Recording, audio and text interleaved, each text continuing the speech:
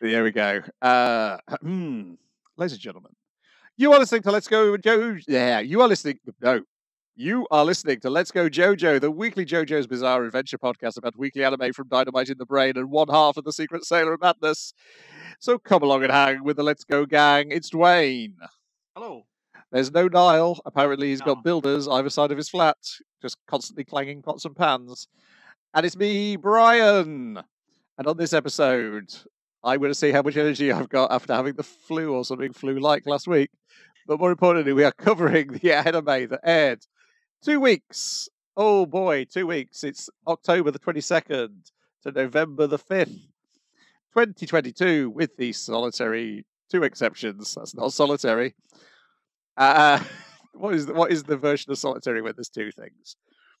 Um, I'm sure that the du- Yeah. no duality that wouldn't be it because that would be yeah, uh, gotta be else. term for that. But um, yeah. So we're covering a fortnight's anime in how we would usually cover a week's anime. So yeah. Yes, and I watched a bunch of this while I had a fever, so who knows what I remember. JoJo's Bizarre Adventure, Part 6, Episode 20. No, that's last week's. No, let me get copy. Uh, correct- Twenty-one. Yes, cop. Yeah, I was just, I got the wrong things here in me, in front of me. It's in the other window, is the right thing.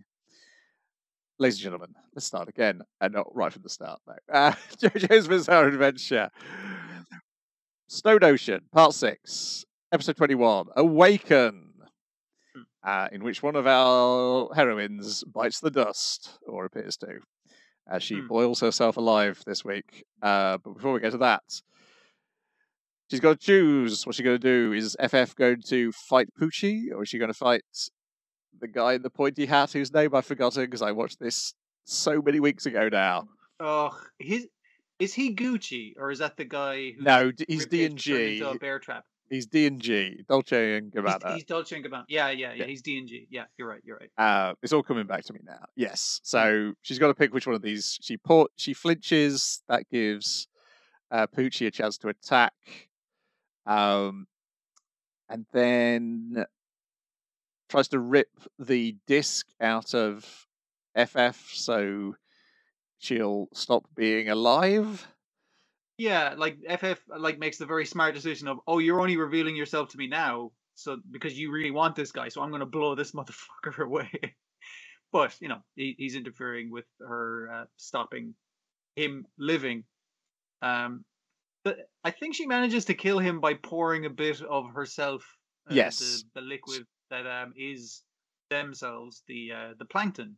She's plankton. She's Yeah, a she- colony of plankton. She blows her own. She corpse. she blows her own brains out and then Hmm. escapes from the skull of the corpse she was currently anim- animating into Hmm. the mouth of D and G, and then twists his own neck. Um, Hmm. pretty fucking rad. Yeah. Yes, which finishes off his stand, and then she like the slime crawls away with the disc into the driver's compartment of the van they're in, the ambulance. Yeah, she's in. trying to Yeah. start the um the ambulance to to get away. Um obviously we have a white snake punching through the front of the van to stop her from getting away. Um I, I do like the the new way it's depicting her form. Um where, where it's kind of like her uh where she first appeared as protecting the farm equipment and stuff. Yes. Um, but with the the face of the, the corpse that she was been riding around in this whole time, I was like, it's a really really nice combination of designs. Yeah, and she ends up like partially destroyed, and then is being questioned by Pucci. And then Pucci realizes, "Hang on a second, you're just delaying me." And then we see her legs running away with the disc. With the disc like tucked into, I mean, like technically the, the pocket, but more so like the, the, the cavity where the rest of her body should be, because it's her head and body dissolving. It's like, you think that's where I am? I'm fu- I'm a colony of plankton, you idiot. My legs are running that way towards the um towards a hose in Yes. the in the in the prison yard. Yeah.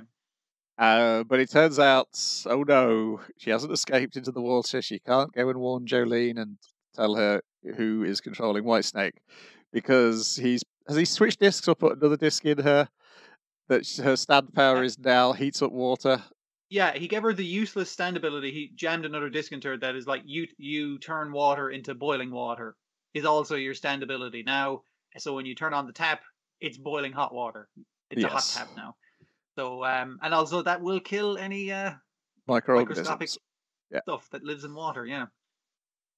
Um, yeah, and uh, yes, so Foo Fighters uh, appears to be dead, and then I Hope they're not. But that seems like again, it's it, it's a very hard stand to kill. But like, how do you kill plankton? A bunch of different ways. yes, This is definitely one of them. Yeah. Uh, this is about halfway through the series, so it's a good chance that she Hmm. is dead. I think. Um, it- it's possible. I, I hope not. And it's really sad. But then the second half of the episode distracts me with fucking weird JoJo physics. And I was just like, okay, I don't have time to be sad because weirdness is happening now. Yes. So- Uh, yeah. Jolyne and Anasui have a different problem in that the baby has hatched, and they Well, got to the, chase after. the green guy who ate the baby obviously is dead because his stand Yes. user's dead. But the baby has hatched from the egg and it's getting away. Slowly away. crawling away. We've got to get that baby because we can't let Whitesnake get that baby because he's got s- some sort of plans for it. Also, yeah, we had Whitesnake. Uh, Fu- Pucci was questioning. That's what he was. That's what she was delaying it with. Was him asking, "What's the baby like? Can you 'Cause, yeah, explain he- the baby to me?" Yeah, because he said I could just take your memory from your head and like it would give me all the facts and information and your point of view and everything. But I want your opinion. Like, what's he like? But what was your impression of him? And she's like, I don't fucking know. He's just some fucking dumb green baby. Uh, yeah. So she's so flippant. It's great. It's it's Yeah. really good. And his face of, oh please tell me the thing I'm very interested in. She's like, I don't fucking care. Yeah, you get a the feeling he, he wants her to describe it as like a tiny Dio, uh, of which And, it and is basically not. like a tiny Dio slash Jesus slash God, whatever the fucking way he yeah. beers Dio. Yeah, for sure. Instead, it is very much a green baby, but a green baby who, as you get closer to it, you shrink. Yeah. So if you get if you close the distance between you and the baby by half, you reduce in size by half. So Yes. now that you're a quarter of the distance, you'd if you tried to get closer, you'd reduce in size by half again. So you'd never reach this baby, and you'd keep getting infinitesimally small. Um, I did like the way your man worked out the math, and I was like, yeah, that's true. Actually, that would work like that. And he's explaining this to Jolyne, and it still doesn't work. And she tries to move the string towards him, but her string keeps getting smaller as it gets closer to the baby. It's like, damn, how do we get this baby? Uh, and also, the baby not only has this power, it also has a stand. Hmm. Uh, and the stand seems more malicious than the baby does. I guess it's just defensive. I just I guess it just perceives them Yeah. as a threat and it's defending the baby. Mm, mm. Um, and so they go through a whole wide variety of scrapes and plans. There's a bit where Jolyne's falling towards the baby and she realizes, oh, she's gonna, just going to be constantly falling. She's never going to hit the ground. Yeah. Um, they uh, until Anasui rescues them. Then there's some there's a lot of stuff involving this glass bottle, and it has to be that you propel something towards it because they throw a rock. So it's not like, it's if it shrinking things. because it because he he he threw a, pebble at it, and when the baby threw the pebble back, it was a giant boulder coming towards yes, It it was maintaining its normal size. When the baby touched it, it it negated its power. So if the baby wants to touch something, it won't shrink. The- Yes. you have to like get the Yeah, baby it's to. it's the stand who throws the stone, not the baby at them. Sorry, yeah, yeah, yeah. My bad, my bad. Yeah, uh, because they're hanging on to some rocks after they think they've gone away, and it throws the baby. It throws the baby. No, it throws the stone upwards, and then it comes back down as a boulder on onto them. Um, it's really good use of physical space as well because this is like a small tract of dirt eh, dirt in between some like grass and reeds and stuff and it's just like the same 20 foot or whatever of just uh, muck and earth and grass but it becomes like a whole fucking like cavernous kind of thing the more they shrink and is I, I just like it and also they have to trap the baby stand I love saying that um inside a bottle at one point yes, after that, because Anasui gets his legs caught under the bottle, and then they trap the stand in it, and then the baby touches Jolyne, and everything's back to normal, uh, the normal size. The baby's she's holding the baby. The baby's seems to be. They seem they're like, oh, the baby likes you. Uh, he's actually just seems really fascinated in the star on her shoulder. they Uh, got the same birthmark yeah yeah uh, and he's like, yes, it's good that we got this baby, and White Snake doesn't have the baby, and maybe we can use its power against White Snake, but it's evil. I'm going to have to kill the baby. is what he's thinking to himself. Yeah, yeah. Yes. Uh, so that's where it goes out. It's uh, NOC declaring that this baby is his enemy, and one day he will have to kill it Hmm. uh, because he detects evil powers from its stand, uh, of Also, which its stand power is weird and crazy, and it's just like you can only they've only managed to break it by interesting the baby, basically. Yeah. yes, yeah. Um, but yeah, there does not seem to really be any evidence that the baby is actually evil. I mean, So it we're- looks evil. It It's a does. little it- goblin baby, you know. Yes, it doesn't yeah. look great. yeah, it's uh, it's no baby Yoda. Um, that's for Mm, mm. sure. Um, does the stand get the uh, title card? Green, green grass of home. Yeah, oh, yeah, it's green, green, green. I think is what they just call it, or Okay, something like yeah. that. Yeah, yeah. Yeah, it's got like a four-eyed mask with turbines coming out the side of its head, and like a shock-headed Peter type haircut. yeah, yeah. Uh, and of course, it's also little because it's mainly interfering with you when you're little. Hmm, hmm. Also, I guess it's like it's the it's the shape of a man, but it's the size of a baby. Yeah. Yes. Um, and they're always going on about, oh, if we stop the stand, it stops the baby, uh, as if as if they, they seem to be under the impression that the baby somehow, could, or Anasui is, because Anasui is making a lot He's of. assuming a lot. Yeah, yeah. Yes, he's ma- he makes some good observations and then makes a whole load of assumptions. He he has to do most of the out loud thinking because Jolyne can barely talk because she's still filled. Both of them are still filled with holes, but one of her Yes. eye, her eyeballs constantly melting this entire episode. It's just super gross. yes, I don't know how they're getting better from that, given that their medic uh, boiled themselves to death. Um, Yeah, she manages to stitch up some of the holes in her, but like she can stitch up the holes in her tongue a little, and then what, what are you going to do about that eyeball? It's like, well, basically nothing. Yeah.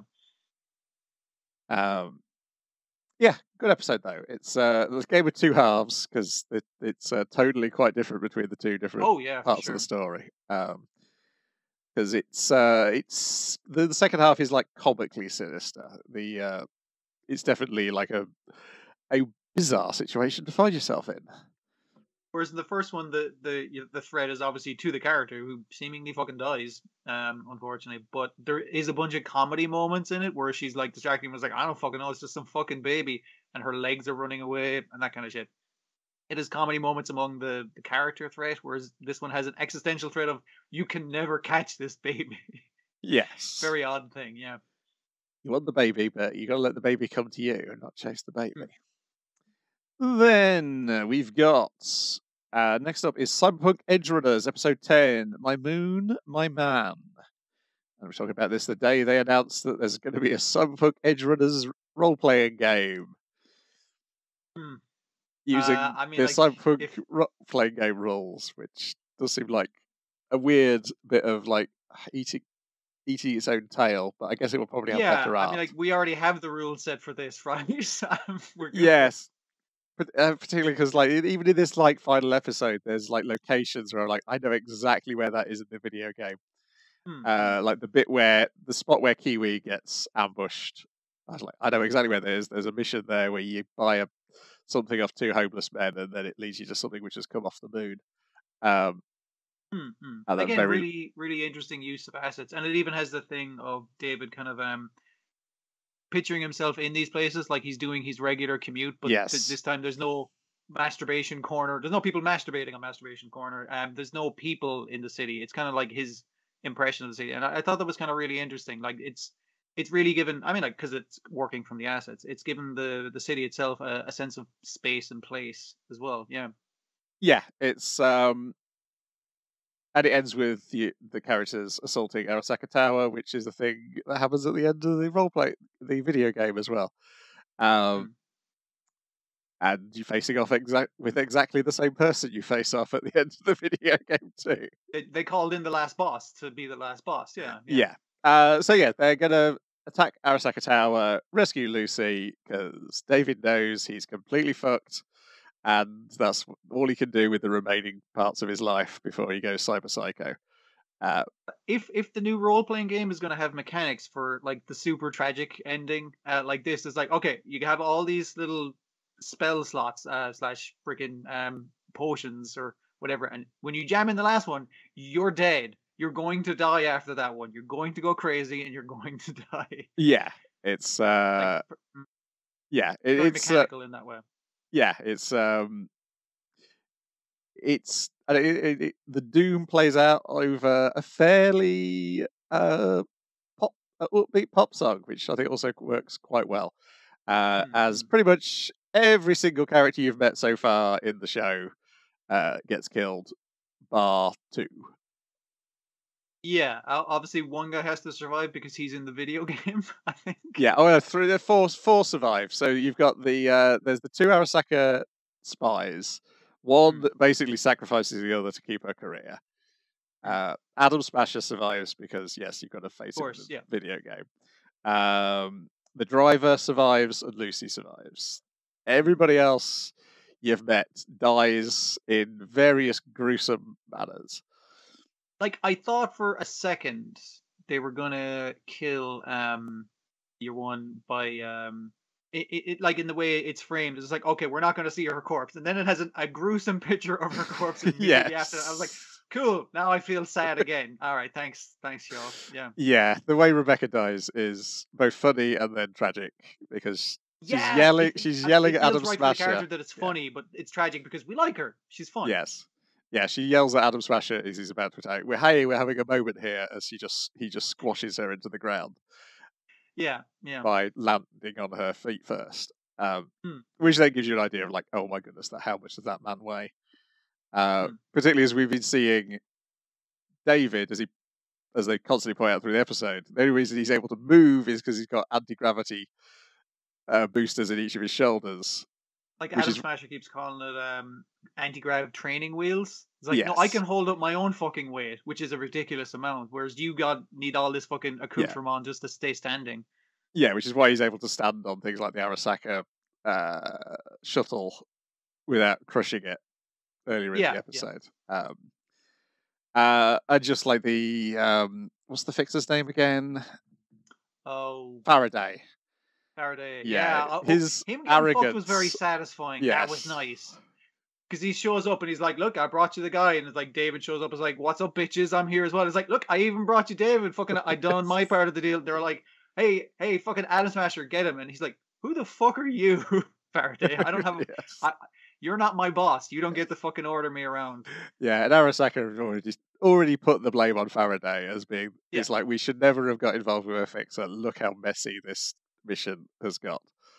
Um, And, and I love the look of his like three eyeballs, one eyeball on either side of his head, but you get to see all of them pop out of his fucking head. That's great. That was very satisfying. Fuck that guy. Yeah, because the way he dies is just like just gets bounced around by the rest of the fight happening around him. Um, Yeah, they weren't even trying to kill him. He was just collateral damage in the fight, basically. Yeah. yeah. Uh, but yeah, it ends with uh, they offer David. Uh, Adam Smasherlight offers David the chance to become a construct, which is one of the plot points of the uh, the video game. But he refuses, so he just gets his head blown off Hmm. at the end, and then we see Lucy having a really great time on the moon. Goes on a little moon holiday. Wow. You know what would make this nice? If David was still alive and here, that would be nice. Yeah. And also, the moon holiday looks kind of shitty as well, based It- given how it's much a very tourist trap from like the first episode of Futurama kind of yes, thing. Yeah. yeah, um, yeah. I really enjoyed the series. I think it does a very good. I, th- I was trying to think. It's. I think in terms of like capturing the look of a video game on screen, but without making it slavishly look like the video game, Mm-mm. which it does a superb job. And I think it made me enjoy the video game in retrospect a bit more than I did. Okay. um, just because I was like taking like things like the the little sound effect whenever they do the uh, telephone calls. Hmm. I was like, oh yeah, I love that sound effect in the game, but now I see it in like a different situation. I realize how much I love that sound effect in the game. When I was playing it in the game, it was just yeah. part of the the game process. It was like, okay, this is that's the cue to make me go to the next bit of the story because I'm getting a little bit more information. But now I'm hearing it in the context of this story that I have no input in. I was like, that's a really good sound effect. Um, It's an interesting one because, like I said, they're taking the assets, the, the visual assets and the audio assets from the, the game, and even taking some of the mechanical as- assets and ideas from the role playing game, like Yeah. the um the me- medevac guys and that kind Yes. of stuff. Um, and they've a lot to pull from, like even um their their hacker kind of hacking into him again and going like, "Hey, I'll give you the map on the way out because I'm totally going to be die." Because guess what? I got betrayed as well, and just showing the route that they need to take. And I was like, I assume that's what the fucking map looks like in the game. It's just Yeah. like you have all this stuff to work from. So yeah, they're they're using it very well. What materials are given to them? Yeah, I think the only thing that hamstring a bit is, I've seen other people point out, is that mm. the the visual representation of net running isn't very exciting, and it's not very exciting in the the video game either. it, Yeah, I guess they had a better idea for the visual of the um the the Sandevistan. Like that was the yes, the, the physical aspects of the the the cybernetics is the thing they were really concerned with, and less concerned with the the net running um visualization because Yeah. the game wasn't about that either. So yeah, no, and I think it's quite right that it's not that much about it in the game because that was always the problem when you I was running the or playing the pen and paper RPG is Mm. the fact that it used to be like you'd have a character who was a net runner, as you've got here. And it's like yeah, yeah, yeah. as soon as you got to the part of the story which involved net running, it was like all the other players had to sit by while a player, one of the players, got to play a solo game with the GM. yeah, yeah. It's a difficult one to to marry the two. Yeah. Yeah, so now in the video game, it works more like spells essentially. So you just ha- you're on the fly hacking the environment and You're on the ground like hacking the thing in front NPCs, of you, kind yeah. of thing. Yeah, yeah. um, which I wonder whether that's how it works in the current Cyberpunk Red. Uh, I've not had a look at that rule set. Um, Mhm. and then at a certain point, you do they you you do in one part of the story you do the same thing they did when they shoved her in a bath full of ice in order to go deep into the Arasaka guy they ca- captured, Tanaka. Mhm. Um, and that's where the visuals look the same as that sort of white on black, uh, ghostly world. Mm, mm. Um, it makes a bit more sense looking like that in the game. It didn't really need to look like that, I don't think, in this, but maybe they're just doing that for visual consistency. Um, yeah. Could be. because the idea in the game is you're you're delving into you're not delving into somebody's head. You're delving into a bit of the internet that is like uh Oh, like the old. Uh, shouldn't be the yeah it's like the the old Yeah, route yeah, yeah. it's like the the leftover bit where there's rogue That's AI. probably It's why just- they wanted to make it look the same because that was apparently what Lucy was also looking into. yes um, when she was yeah when she yeah. was a kid yeah um So they wanted to keep that. Yeah, visual consistency is probably the reason for it. Yeah. yeah but overall good series um and you liked it as well you've not played the game so i think it Yeah. works for everybody it's a it's a fun trigger series um Yep. Well, fun. Uh, fun Yeah. yeah it's got a very depressing ending but i i kind of i kind of like how bleak it ends um because it, it does the the pop music and the it's like uh, she's like oh no i was trying to save you david but i kind of knew that you that wasn't going to work and you were always going to end up doing this anyway so It's very clear from like the outset that this wasn't going to end with the super happy ending. I mean, it, the opening is him like running and his body falling apart in fire and uh, getting shot in the head. That's the that's the opening fucking thing that they do. Of the show. yeah I, I, and I guess So- the only guy who probably gets his happy ending is Adam Smasher, and he's a guy we only meet in the last episode because he gets paid. It's just doing a job. Uh, though I guess yeah, I mean uh, I can't remember what the driver's name is. They do get to split the fee. He does mention that to Lucy that they uh, that David told them to uh, split the fee uh, as they go away. So Yeah, yeah. which is how which is how she could afford to go to the moon.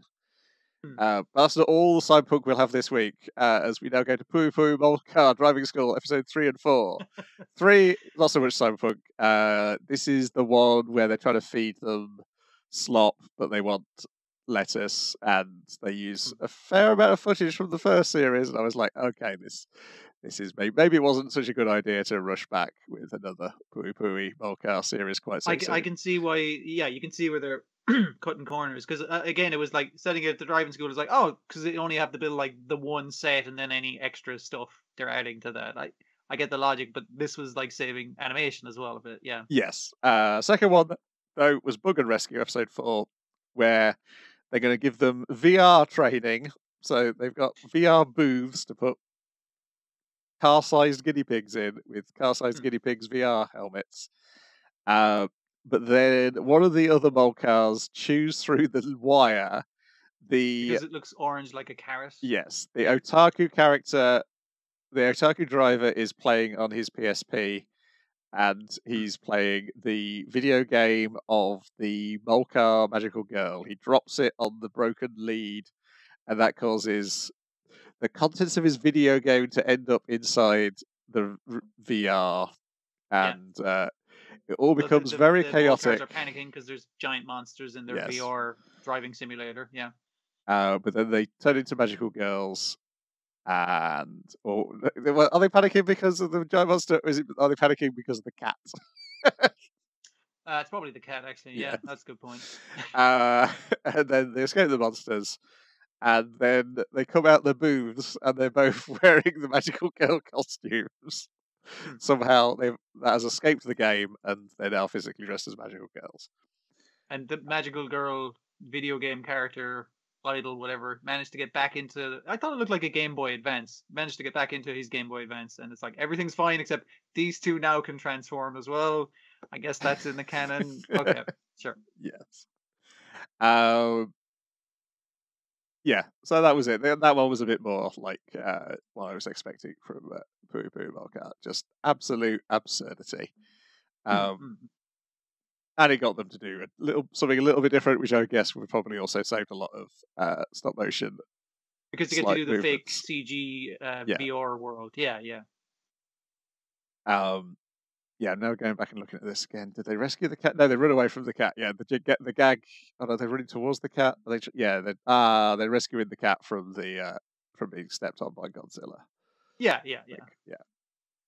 Um it's it's good i, I can see where they're cost saving stuff but it's still fun It is still fun, but uh, I do. It does feel a little bit like they rushed back because they wanted to make more money from selling uh, more Yeah. Pui Pui Molcar, merchandise.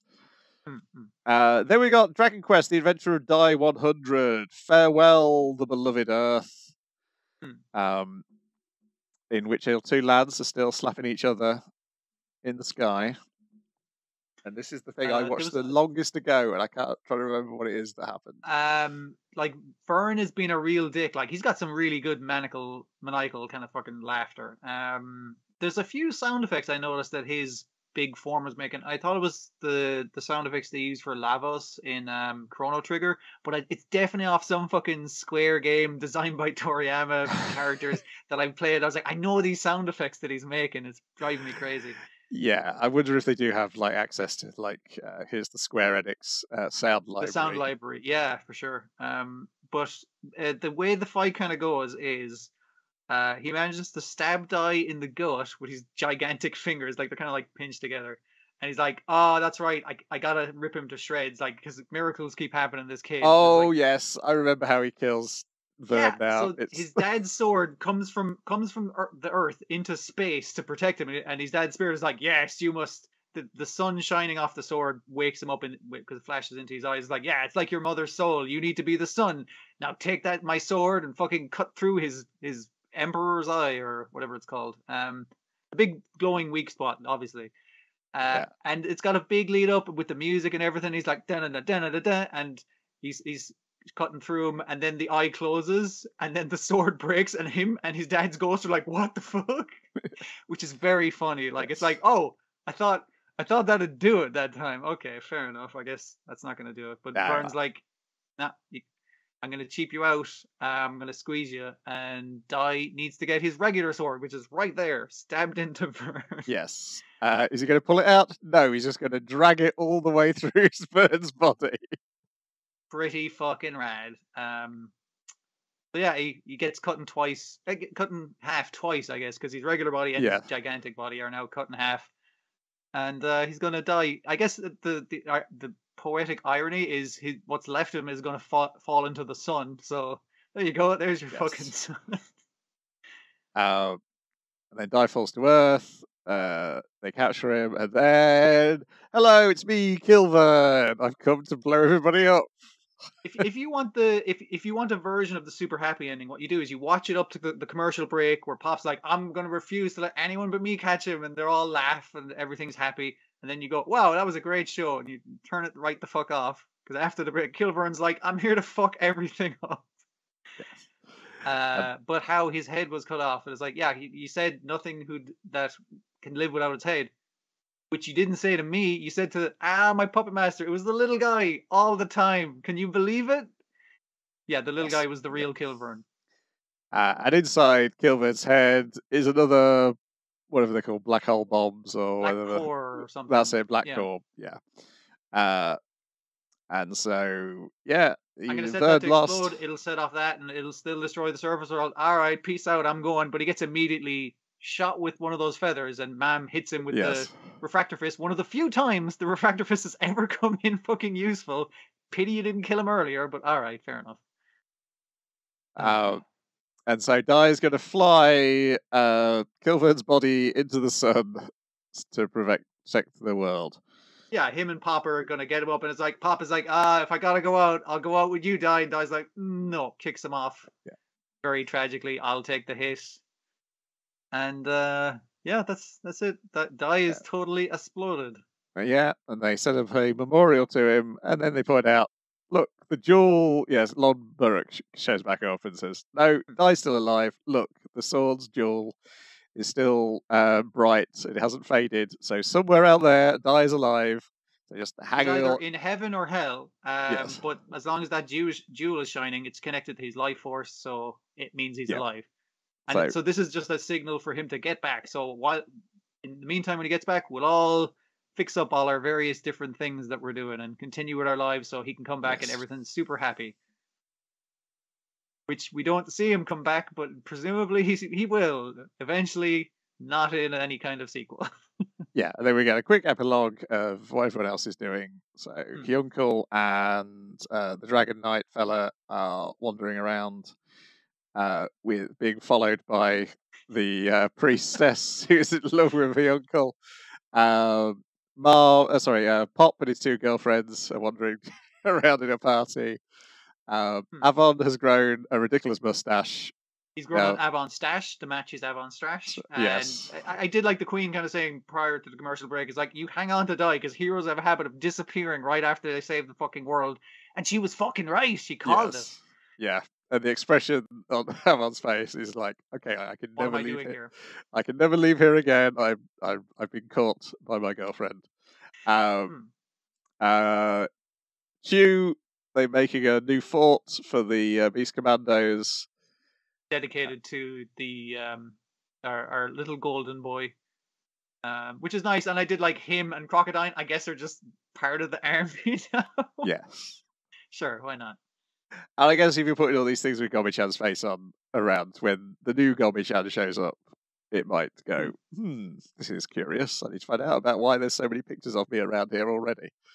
Um, oh, uh, uh, freaking what's uh Popp's master called? Um, oh he's yes, making he's, the fake heroes return all the jewels they were lost. yes.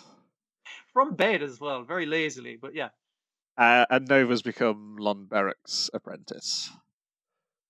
Um, and uh, Leona is, still waiting by the memorial slash indicator of where to come back for Dai, but it's just like, yeah, he'll be back one day.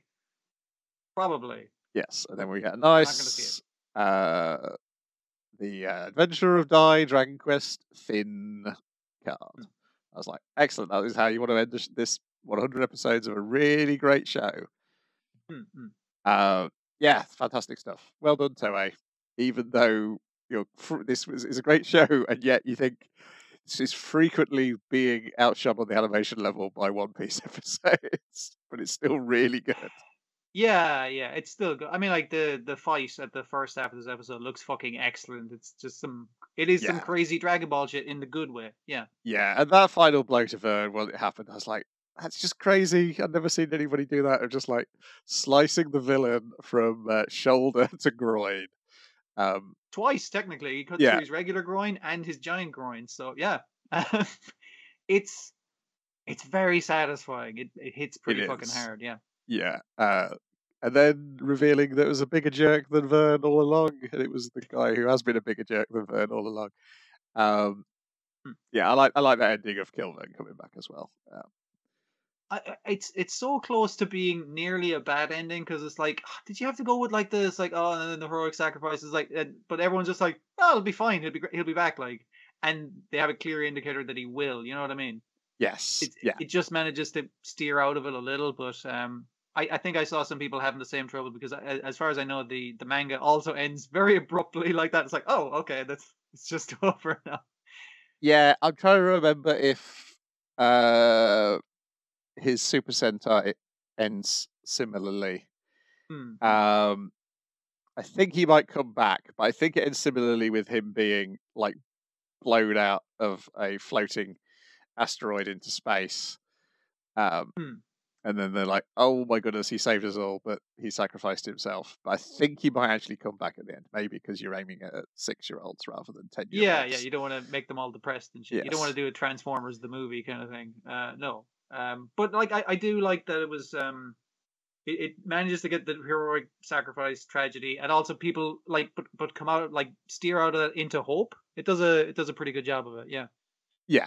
Um, very enjoyable. I shall Hmm. probably eventually read through the comic as it goes up on uh, the Shonen Jump site. Yep. Yep. Uh, but I think like might have to go through all of Hunter Hunter first, uh, just so I can understand what's See, that has shown up as Hunter well, and that has distracted me a little. Yeah, for sure. I'm just about remembering all these people now. Ah, there's three different mafias. Um, there's the Phantom Troupe, and there's uh, the psychopathic clown, and uh, they're all sort of angling towards each other. Hmm. Uh, but yeah, on, on on Dragon Quest I, I do like. I, it's not like I'm complaining a lot about the ending, but it's been like a magnificent 100 episodes, really fucking solid. Um, very easily watchable through. Um, very. Again, you've seen things take off this so many fucking times, but there's something different about watching it from the original uh story. Yeah, I wonder how many how many volumes did it go as a comic? Adventure of Dai.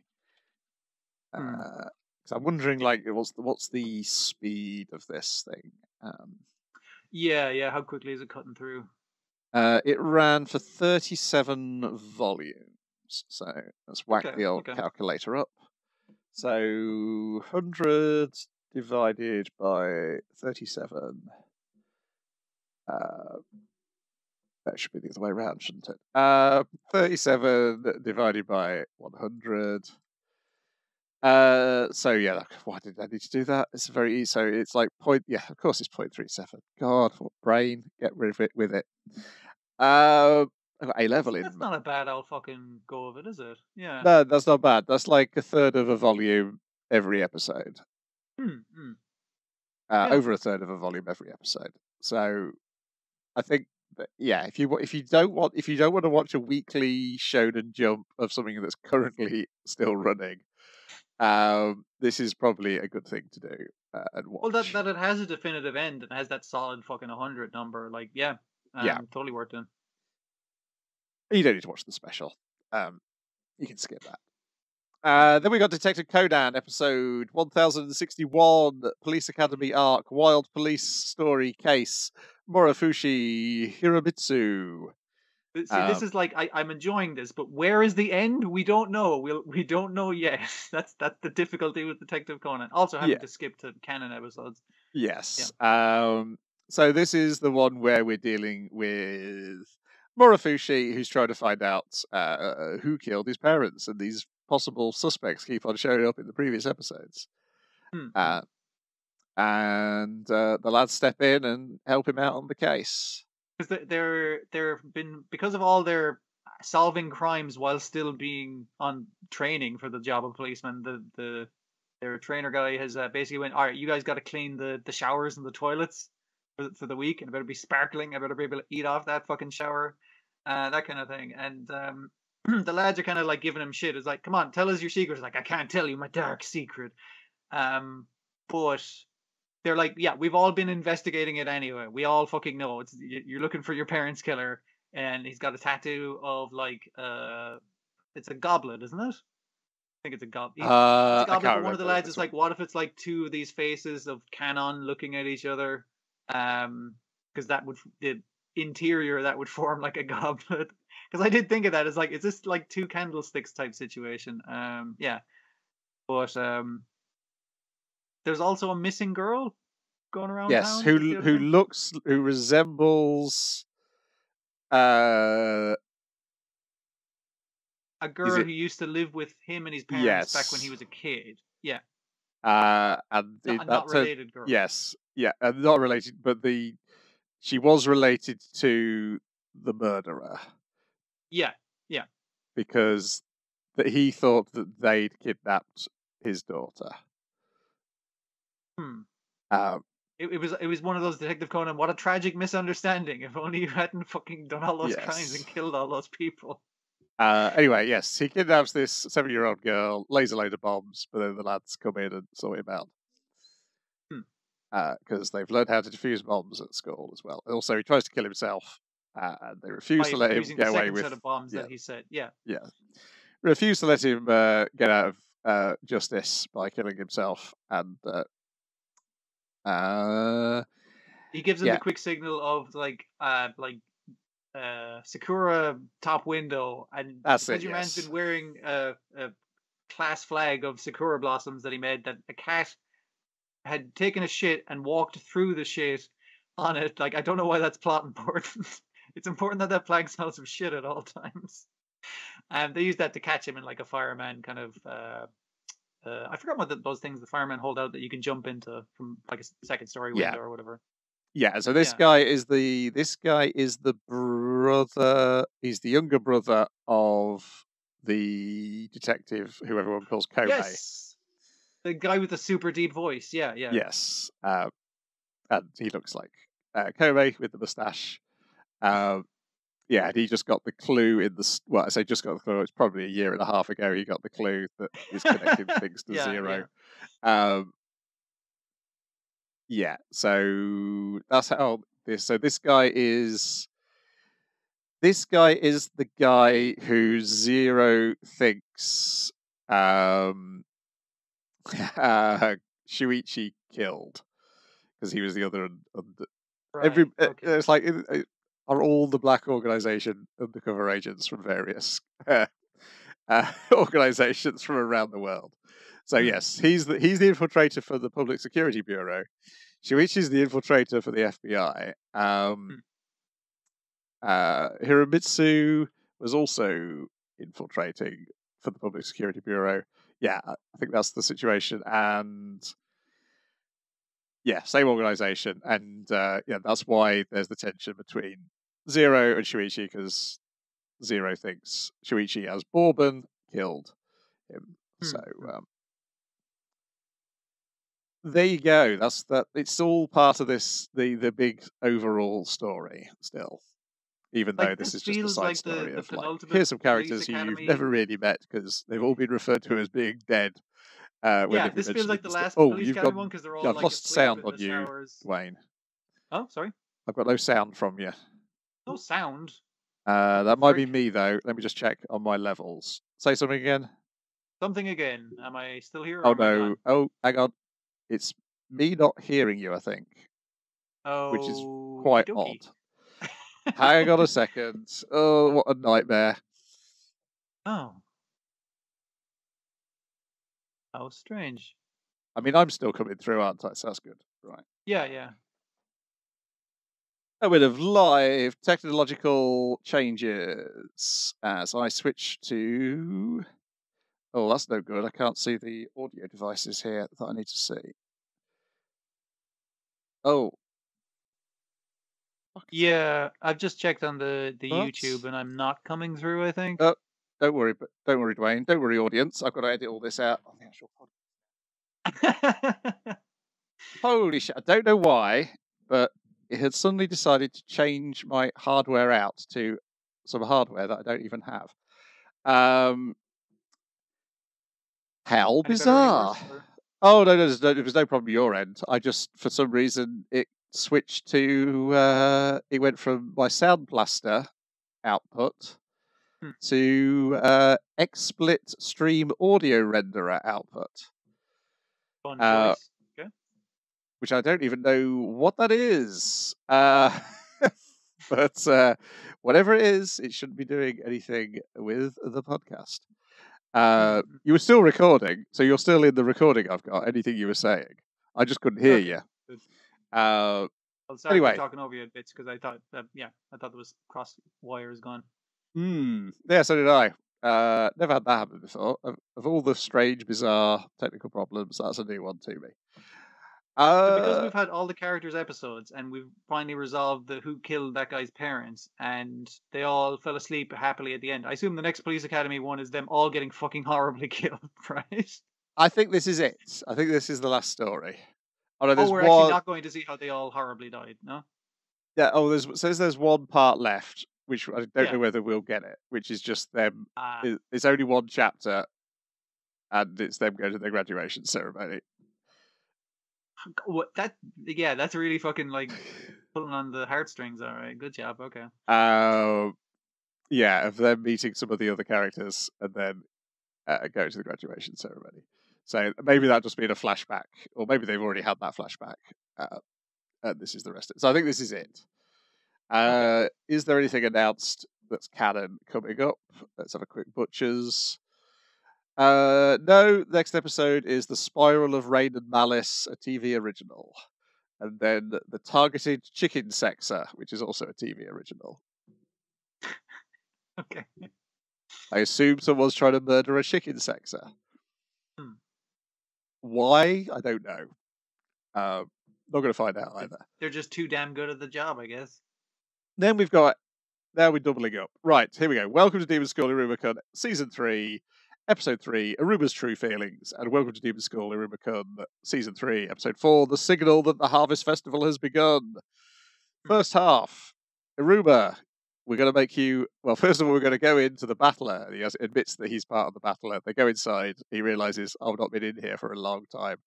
It's changed a lot. And uh, is he Eligoth? Eligoth is the creep who's hung Yeah. around. Uh, he's busily. He's been filling up the uh, the battler with all sorts of magical items and devices and ingredients. So actually, He's a weird creepo, but he is good at making shit. Yes, uh, actually, they can. She can uh, teach Iruma how to make a uh, bow. You've got to um, grab a core because she can do it on her own because that's her blood power, but other Mm. people need to use a core to create the bow. And what's the magic words you use? Quartz, quartz. Is that it? Or something? Yeah, I think it's quartz, quartz, and I'm not sure if there's anything else added to that. But like, you, you take an object, um, and uh, depending on the object that you take, it'll it'll take on a different form. But it's also what the purpose you make the bow for um imbues it with um its Its shape. form. So so your Yeah. man obviously tries it on one of his anime figurines, and um it turns into like a gigantic bow version of um head of the student council, Yeah. like a life size version Yes. of her, but as a bow. Yes. Um, it's really fucking weird. And as we see in the end bit, she confiscates it because that's only been used for fucking crime. You know but that. she was happy. She was going to leave it there if Iruma had made it, though. Yeah, that that that would have been fine. That, that's a compliment. She fancies Iruma. Iruma is her boyfriend. Yes, So that's and also But that guy's we- a creeper, so no. Not allowed there is to a, have that. there is a line in that bit which also gives like what on earth is that comic about because they're talking about like how one of the characters got trapped in a time prison Yeah, like he goes to space as well. That comic sounds fucking class, and I love the fact Yeah. that it's this weird, long-running manga that just went everywhere and did everything as a as a romance manga. Yeah, yeah it's a pretty good gag that there's this comic you're never going to see every chapter of and then it can be referred to, it, she can compare it to any situation she runs into which then makes the comic seem weirder and weirder Hmm, hmm. Uh, yeah, so she's got to. He, the rumor's got to make. She's they've. He's collected some of the feathers of that guardian from season one that he befriended as like the first sign of like, hang on, something's up with this kid. Uh, and yeah, she the first bow he makes is just an imitation of hers, and it falls apart. Uh, and uh, yeah, she's basically gives gives him. a few lashes of it, and she's like, "All right, we uh, you get one more shot." And he's like, "What are you talking about? We got a box full of those feathers left." He's like, "You get one more fucking shot. If you don't get this right, really fucking think. What do you what do you want to do with this bow? Really fucking think about it. And if you haven't figured it out by the time I get back from shopping, then you're fucking done." Yeah, Um, and and so she, goes off shopping with the guy who mostly picks up junk. And she's kind of thinking, is like, fucking demons, man. They, they can't fucking concentrate on things. They can't focus because she's tried multiple times to take on an apprentice and they all lose interest. None of them have the kind of focus to be a proper archer like her because they're demons. It's it's in their demonic nature. I mean, like if they were something different than a demon, like I don't know, a fucking human. That's a theoretical animal though that could focus on it. Maybe they could, but um, that's that's clearly not the case. This is going to be another failure. Yes, uh, and you, the backstory is like, yeah, okay, yeah, she's she's frustrated that yeah, society does not live up to her expectations, essentially, Hmm. which it does seem to be a, nature is not yeah. inclined for her. She's excited to teach her her bloodline ability, but no one's willing to fucking learn it because of how demons are so fickle and selfish and that kind of thing. Yeah. Uh, and then we check in with the other. It's more. It always seems like checking in on the other tutors than the other pupils as we get Yeah. the Yeah. the siren is like she's not confident in her abilities to teach because she's just constantly drowning these two poor boys. Uh, but then they use their they manage to use their bloodline abilities. Uh, To repel the water, essentially. yes, or realize that water is ground and therefore I can use my. Uh, I, My- yeah, he has to see what it whatever he wants to manipulate as his bed, and then he can manipulate Yes. it. I didn't understand that's how his ability worked, but that is kind of hilarious. And the other guy just makes like a wall of swords of of wind around him so he can breathe. Because yes. yeah, underwater you can't breathe. Uh, Mr. Hat is sort of explaining how things should work, and then actually has worked completely different. Uh, you should respect these animals and be and don't consider them filthy. Consider them your Yeah, you- you see them, you're on the same level as them, and your man's like, yeah, these lady animals are still ladies. I get it, I get it. And the other one's just like, no, everyone, all of you motherfuckers Yes. are beneath me. Yes, He's become not- king of the prison, basically. do not cross that. line. Yes, but he's, she's still in the cage, whereas the owl boy Hmm. has been let out of the cages and having tea with loads of tiny little animals. It is very funny. You would think it'd be the other way around, but yeah, no, he he's learned to respect them as equals because they're also beautiful ladies, and she thinks they're beneath her because she's a fucking idol, and she'll be the the queen of the animals. Yeah. Uh, Lead is learning concentration by playing video games, but he tricks Robin by throwing the first few games, just as Robin thinks that he's going to have to throw some games. Uh, Hmm. He's like, "Oh my goodness, she got me!" And then uh, the two lads manage to hit Balam. But they Um, decide, wait a minute, what if we both try to hit him together at like at like as a team? He's like, you can't block both of us, right? And it's like, yeah. Like no shit. And he's like, oh yeah, you did manage to hit me. Well done, lads. You passed. uh, in the succubus lessons, Clara is passing because she has a secret technique where she hides and surprises you and then glomps you. And oh dear, that is a little bit sexy. Uh, and then it's a little worrying how the succubus teacher then licks her lips looking at Clara. It's like, calm I down, mean, lady. she's a succubus. She can't really help. it. Yes. Um. It, it- she's she's got the kind of attractiveness where she's not sexually attractive. She's very very cute. yes. That that's the way she leads. Yeah. Uh, but there is the mystery of the next episode why she's come dressed in a sort of a teddy bear outfit. I, I would say she's more dressed like a dinosaur or something. It's Some it- sort- She it's a looks like she's outfit dressed like a bad costume of her familiar. Is what she looks like. Yeah.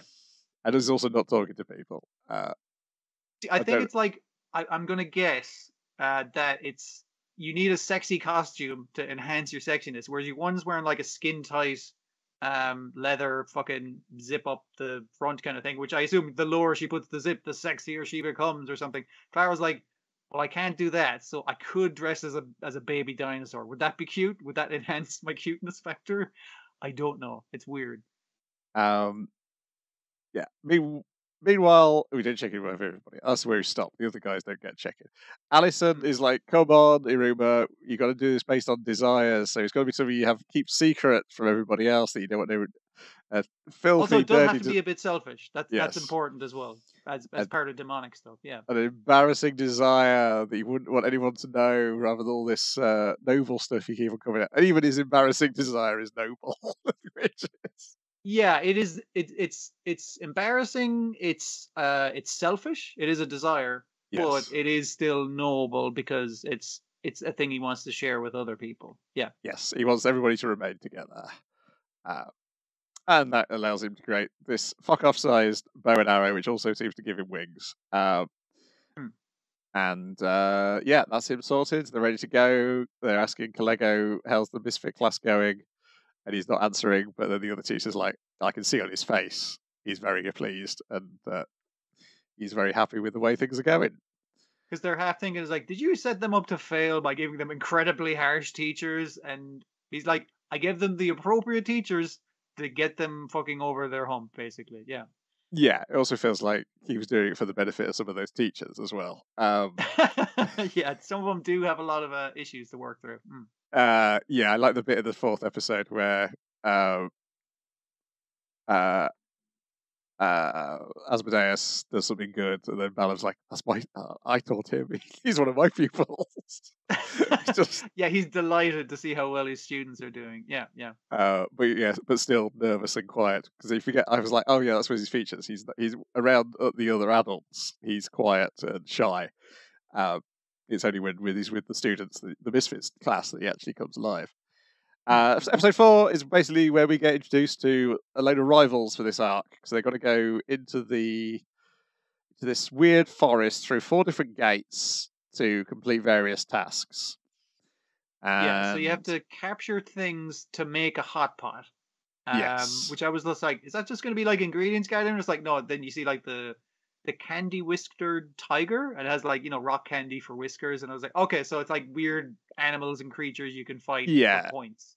A bit like that Yeah. Clara arc from the previous series. Um, It is it's a point based thing. Like a lot of the small little living mushrooms aren't worth much, but there's boss animals that are worth a lot. That kind of thing. Uh, so we're introduced to like this little guy who really stinks. Hmm. Uh, there's these three guys who are pretty good. There's this guy who is basically what if you draw a horse as a man, uh, who always comes second. Um, He very specifically comes second, which makes people think he, he can come first. Because who won this last year was our um was our student council president. Ameri, yes. He came and he came very close second in that as well. It's just like could he come first if he felt like it, or is he purposely throwing it to come second each time in everything? Yeah, and then there's these two brothers who should be second years, but they flunked They the held first year. Yeah, and they're having to do redo it because they keep on wandering off to battlegrounds to hang out there rather than going to their classes. Hmm, hmm. Uh, so it's established like, oh yeah, they're good in the wilderness, not necessarily good in the class. Um, everybody's The- the arguing. class coming back together. Yeah. Yeah. Every, when they come back together, everyone's arguing about who had the worst time of it. Um, Hmm. I did like the lads kind of saying, "Is like, hey, how come you didn't respond to our text?" It's like we didn't fucking get your text. What the fuck? um, just kind of annoyed about the whole situation. uh, Asmodeus is I forgot because it's been like four episodes. It's like oh yeah, I forgot how completely smitten he is with Iruma. Um, His room is like, let's do our best because they basically decided, all right, to decide who had the toughest training. Will among us, obviously, we're going to gather points as a class, but which of us gets the most points here is going to prove which of us trained the hardest because now we're much stronger. And Iruma is kind of like, yeah, come on, Asmodeus, we'll do it. We'll both do our best. And he's like, wait a minute, that means we're going to be doing it separately. Ah, shit, I didn't want that to happen. I wanted to be hanging out with with Iruma again. And also, it's pointed out he doesn't need to raise his rank. He's already past the yes, level. He's good. He, but yes, but he eventually realizes well, I can I can raise everybody up to my level by I'll get enough Mhm. points so we can split it all between us, and Hmm. uh, we'll all pass. Um, uh, and then he runs into uh, your other big shouty lad, and uh, they team up. But then they're gonna they're gonna look for boss monsters while also searching for the legendary leaf. But then they're snuck up by those two brothers out of Hmm. nowhere. They're like, what's your deal? We also get the rules of the thing done in the style of like a. Um, I think it's like what you'd get at the start if you went to a film of like warning you not to pirate things and whatnot. Um, yeah, yeah, yeah. uh, so you Uh, can't. it's you can't. you can attack each other, but you Yeah. can rob shit off other people. Yeah. Which obviously one of our misfit class is very good at that. That's his bloodline ability, much to his Hmm. uh, annoyance. Um, born to be a thief. Um, what are you going to do with that? Well, it will probably come in useful here. And then there's the mystery of why is Clara dressed like that? Hmm. Because a few people, a few people have noticed, like, what's up with Clara? She's hanging back there, not doing anything. But a, a bunch of people, including Iruma, is like, "Where's Clara? What the fuck?" I think my favourite visual gag in four is when Robin, the teacher, is explaining all the wonderful things you can find in this forest, and they slide behind him. And then the third thing is Kalego, who then grabs him by the head and hurls him into the sky. That's pretty good. I, I liked um, Robin and the. Uh, God's sakes, I've lost your voice again. Uh, oh my god! hell, it hasn't changed yet. that. There we go. Say something again, Dwayne. Something again? Am I? Yeah, there I we go. It's fine. Weird. I don't no idea what is doing that.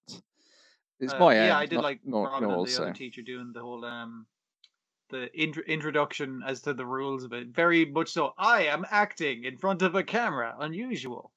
Um, it, it was good stiff stuff, you know. Yeah.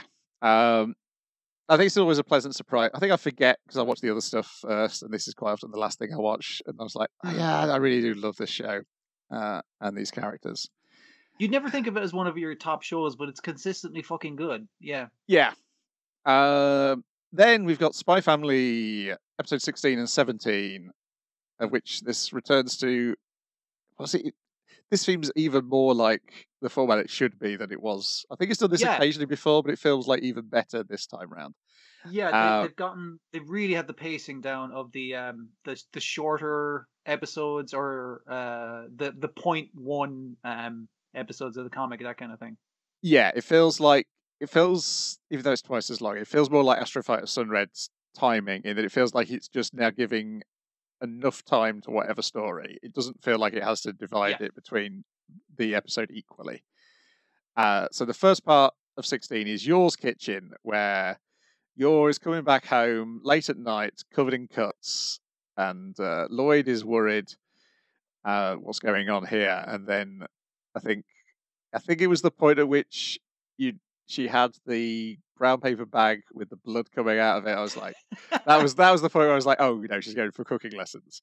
Um, Yeah, yeah, but it, it's well set up, and you know how fucking dangerous she is. Uh, that it's just like, oh my god, her fucking job's getting really. It's like, no, no, no. She's she's trying to learn how to cook because she's good at killing, and that unfortunately bleeds into her um her cooking ability, yes. which will put you right the fuck down. Yes, that's where well, she, she's chopping something and then she's cut through the uh, the chopping board as well, just in one blow.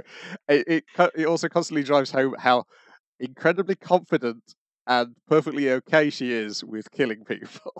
That's yeah. that is not an issue to her. No, everything else in her life uh, is the problem. It's it's a really good development of um I've forgotten the character's name. Her friend who worked in it works in the same office. Um, but because she seemed kind of like shitty and bitchy before, but the her boyfriend is like, no, she's really nice. She's like, Well- she she appears really like you know standoffish, but she's actually very generous with her time and everything. I also yeah. like that he's not her boyfriend yet. It's clearly he, I- I- he- he's- that's the way he, she wants it to go, very much so. Yeah. yes, yeah. and he does as well. uh, But it's like he's deliberately invited himself round to these these uh, cooking so he can hang out with his would be Yes. girlfriend. Yes. Yeah. Yeah, and then th- that particular night, uh, sh- he's invited uh, Yor's brother to be the one to eat her cooking because it's so terrible. Uh, but of course, he Uh, he he's got a bit pretends of an to like it, to it. yeah.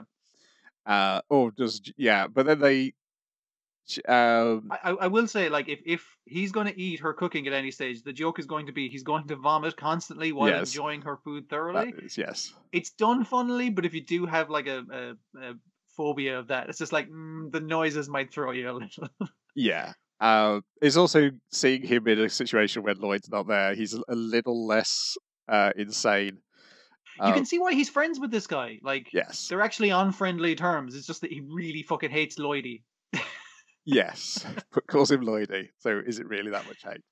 Um, and then they cotton on. Oh, we'll we'll get her to make something their mother made, and because um, she live in she she was there when her man was making it and she has a distinct memory of it so it's like what did that feel like and it's just like okay the missing thing is paprika and that kind of thing yeah, yeah. So they're like, your, oh, your family was from the south and they Yeah. tend to use paprika in their cooking a lot yeah. It was they make this. It's a stew with an egg on it. They make the stew.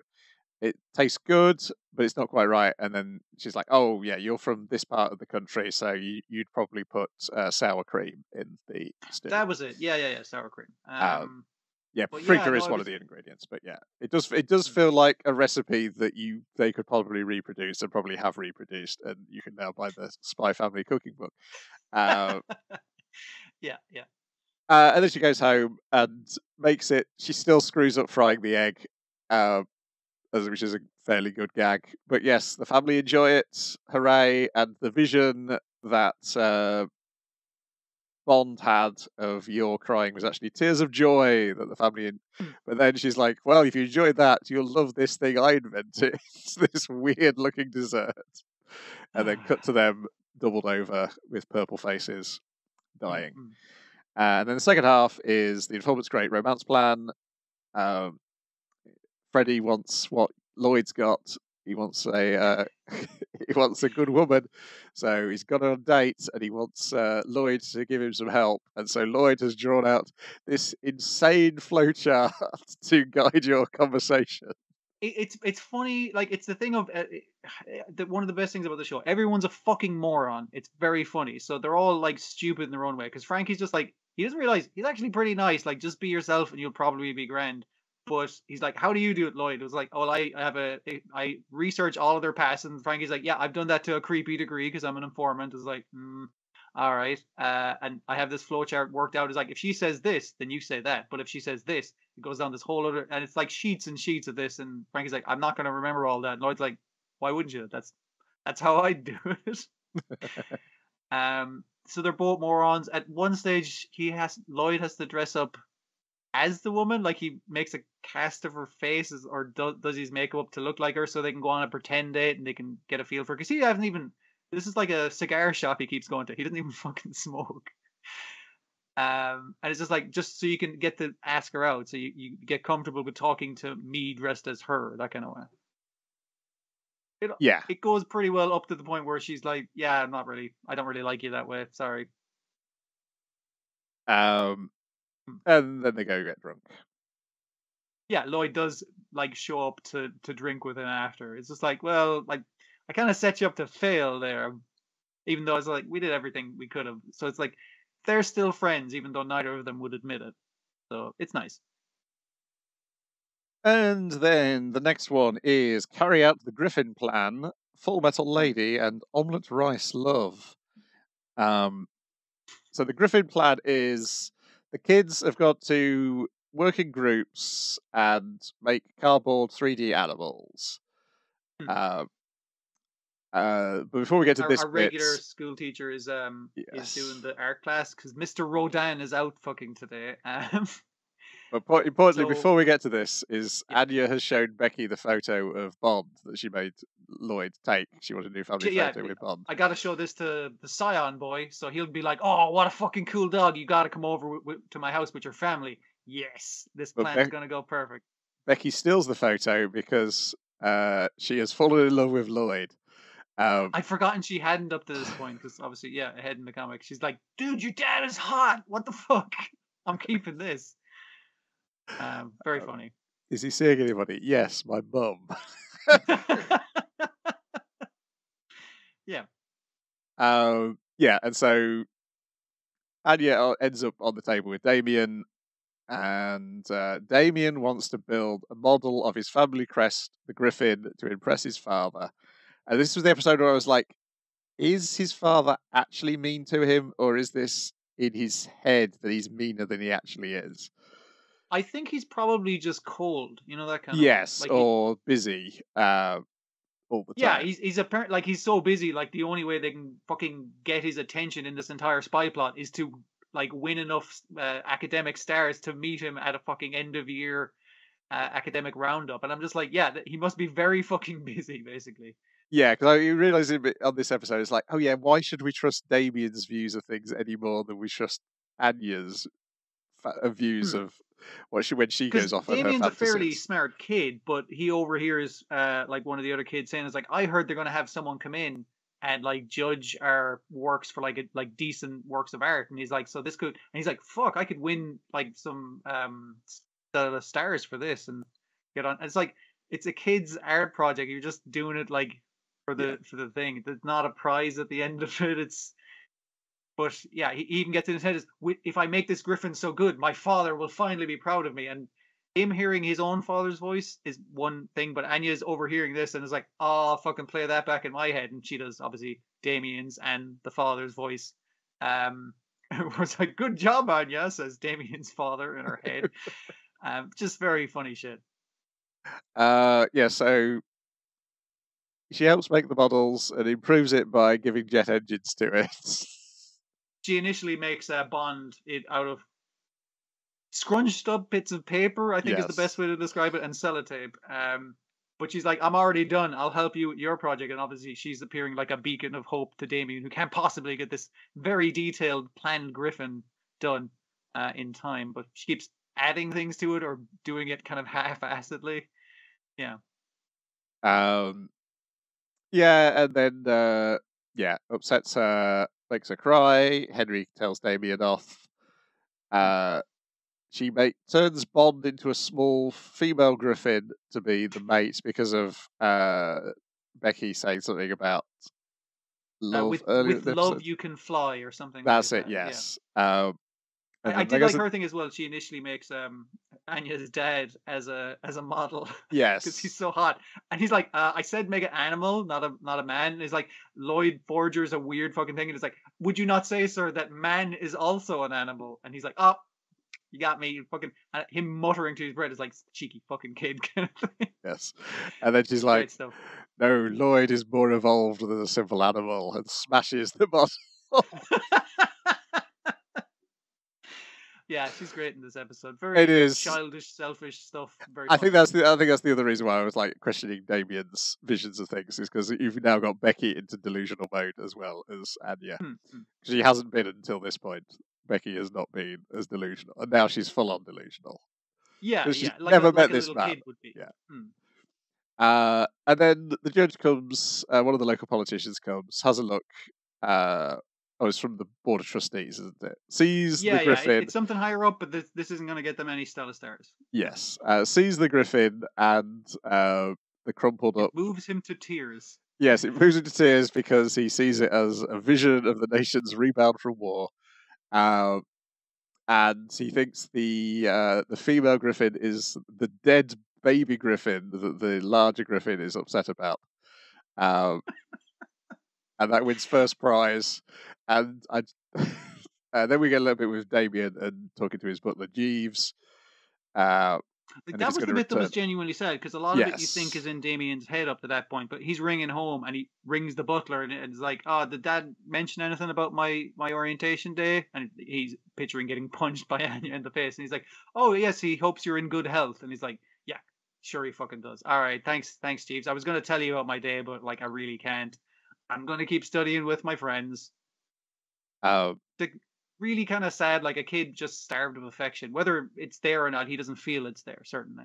And then sort of punchline though of Henry just staring at the art project, wondering how on earth this went up first place. it's not elegant at all. What the fuck? Yeah, yeah. uh, then Full Metal Lady is like uh, this is the sort of the day to day life of uh, the handler. We get her name Sylvia Sherwood. We get the- th- her- this is genuinely good because it's halfway between spy stuff where it's like I have such a regular uh, day to day that I can throw them off. Like I go to the pool at, at this exact pool at this exact time on this day every fucking day. So they're just like, all right. So then they get lazy, and it's like, then I just disguise myself and leave the pool so I can meet up with um, uh, Twilight and fucking go over the missions and that kind of stuff. And she's very satisfied with her new coat in her new disguise. And Twilight's like, can't tell her the price tag's still on it. That's that'd be kind of fucked up. She's so renowned as a really good spy, as the the full metal lady, as she's called, um, that can't um can't bring himself. And then the reverse of that, where Lloyd is the one being ridiculous on their next meeting. How's the plan going? Well, my daughter can now skip five times on a jump rope. uh, yeah, yes. uh, also, we do get I think in one of these episodes he has assessed Bond's intelligence and thinks he can be trained as a defense dog. Uh, Hmm, hmm. don't know if that's going to be a future story or just a passing comment. Uh, then Omelette Rice is a flashback to uh, more your cooking and uh, Yuri vomiting it up. Um, Just a, a new and interesting censored dish because it's so horrifying. Yeah. um, and has this like made him tougher as a secret agent It- himself? because it, establishes that he's been poisoned multiple times over his youth and youth and not died. And also Yor's like, oh, stop it. And she kind of slaps him. He's like with all the compliments, and she she hops him off the fucking ground as a child. And it, it- it's just like when it shows him in the future, it's like he is now ha- have a, has an invincible body because of this upbringing. And it's like. So wait, then you got you fell through the plate glass window and you got hit by a truck. He's like, I'm fine now, and he's just walking down like covered in plasters and shit. So he, I, I he's in, I got an invincible body, but he's also exceptionally unlucky or something. It's it's some weird combination of that. Yeah. Oh, okay, I just see what the next episode is called. Uncle the Private Tutor. Okay, that should be uh, uh, Oh yes, yeah, that should be a good. One. plenty interesting. And also Daybreak. So another two story one. Yeah, I like this format. I like this format a lot. Hmm. I like I like how, as I said, it's not splitting it evenly, just giving them enough time for each story. Yeah, yeah, Right. It doesn't feel like anything's dragged out. Next up is Pop Team Epic, episodes four and five. I have not written out everything in them this time. Train Battle is episode four, uh, and then episode five is Shining Sol- Shining Sh- Shoulder. Shoulder. Um, train Battle. The main story is uh, PPB and Popuko are on a train. Uh, PPB is an old man in this story. Popuko is Popuko. Uh, they declare that they have a train battle. Everybody is told by the announcer to evacuate the uh, If you wish to not carriage. get caught up in the train battle, then you need to leave to this carriage, and also they'll be showing it live on this other carriage. But you can look at the live feed anyway. So And they proceed to have a train battle where they beat each other up on a train. Um, using train stuff to beat each other up, like throwing the ice cream pots at each other from the. I don't know if this is inspired by Bullet Train or the book Bullet Train is based on, um, or something else entirely, but it has some very nice animation. And also, I think it's another one where the, it's question mark, question mark as to the studio. I I think it is known who it is, and uh, yeah, because I've been ill, I've not written the notes I normally write for these. Um, let me see uh, if I can uh, hustle up what the other memories of the, is this this is Gon and Killua, isn't it? I think doing Yeah, the yeah, voices yeah, for the the, women's half. episode four. Um, oh yeah, the Akbu one is the very strange one where Popuko has like armor put on with a Newton's cradle and just constantly wins rounds of something that is not happening. She doesn't understand the rules of this, but she's winning them immediately as they start. Yeah. Um, then uh, they're throwing away rubbish and they blow up the earth. Um, is it? Yeah, I think it's it's five. It's episode five where the uh, Pop Team Epic B side gets cancelled, isn't it? Um, yeah. four is uh, stuff being knives hidden in the jacket. That's the. Uh, Mm, mm. uh oh, there's the the one where they start spinning their heads around, wanting clouts. Uh, talking about headshots. I assume that's some terrible Japanese puns being translated into terrible English puns. Mm, mm. Um, oh, and the final bit is the uh, haiku. God, wow, it's Yeah. not the final bit. There's the video game bit. The haiku bit is the bit I remember because there's the outtakes after the men's part. I, uh, I don't even mind that a lot of the outtakes. And now I realise why I'm losing the, the sound. buy the Right. DVD Uh, kind of uh, the joke because each each back differently. I can hear you again now. Uh, okay, I think there's something up with whenever I open a video file that it's fucking up the. that Uh, it fucks me out of it. Okay. it okay. does, yeah. Uh, why it would do that? It's never done that before. Um, so I won't open up any files. So I won't remember what happens in the part five beyond Shining Soldier, Soldier, Sol- Shoulder. Shoulder. Yes. Uh, so it's the shining shoulder thing got me fucking laughing. Yes. fucking hard, man. That was It's- great. PPB's doing an English, a TV English lesson that Popuko Mhm. is attending, and the English lesson is essentially her singing a Dragon Force song. Yeah, about- yeah. Very fucking Dragon Force. But the initial bit is like chaos reigns. chaos reigns. You know, I just like and it feels a bit like a cruel trick on the the male actors because clearly one of the the woman playing PPB is so good at speaking English. oh, she has excellent English. Yeah, yes, so it works the- really well. that the lads doing it in the second half don't can't come off as well. Um, But I mean, like that's its own joke as well. So that it is, yeah. yes. Um, can was there anything else in this one? Because I watched the next. I watched so much Pop Team Uh, Epic in a row. It's fried my brain. God, yeah, I, I made the mistake as well of watching them together. Um, which is the one where the um, oh wait, the zoo one was the zoo. That was the prior Yeah, one. I'm thinking ne- of the ne- farm one from before. Yeah, that was the prior one. That was last week's. Yeah, yeah, yeah. One was. I thought there yeah. was a different one where they used a lot of English, but um. Yeah, next week. Next week is the Becky Memorial one, um, where it's very different in the in the women's and the men's. They're they're two completely Okay, different okay. dating games. Um, They Hmm. changed the they changed the they flipped the genders on the on the uh, graphics of the video game in in both sides. Um, it's quite a clever way of getting a lot out of not doing any anima- any, any animation, but we'll talk about that next week. Uh, yeah, 'cause I watched I watched four, then five, then six, then I watched all four of the specials because Crunchyroll just kept on playing them, and then apparently I watched four and a half of the redubbed version of season one. Uh, okay.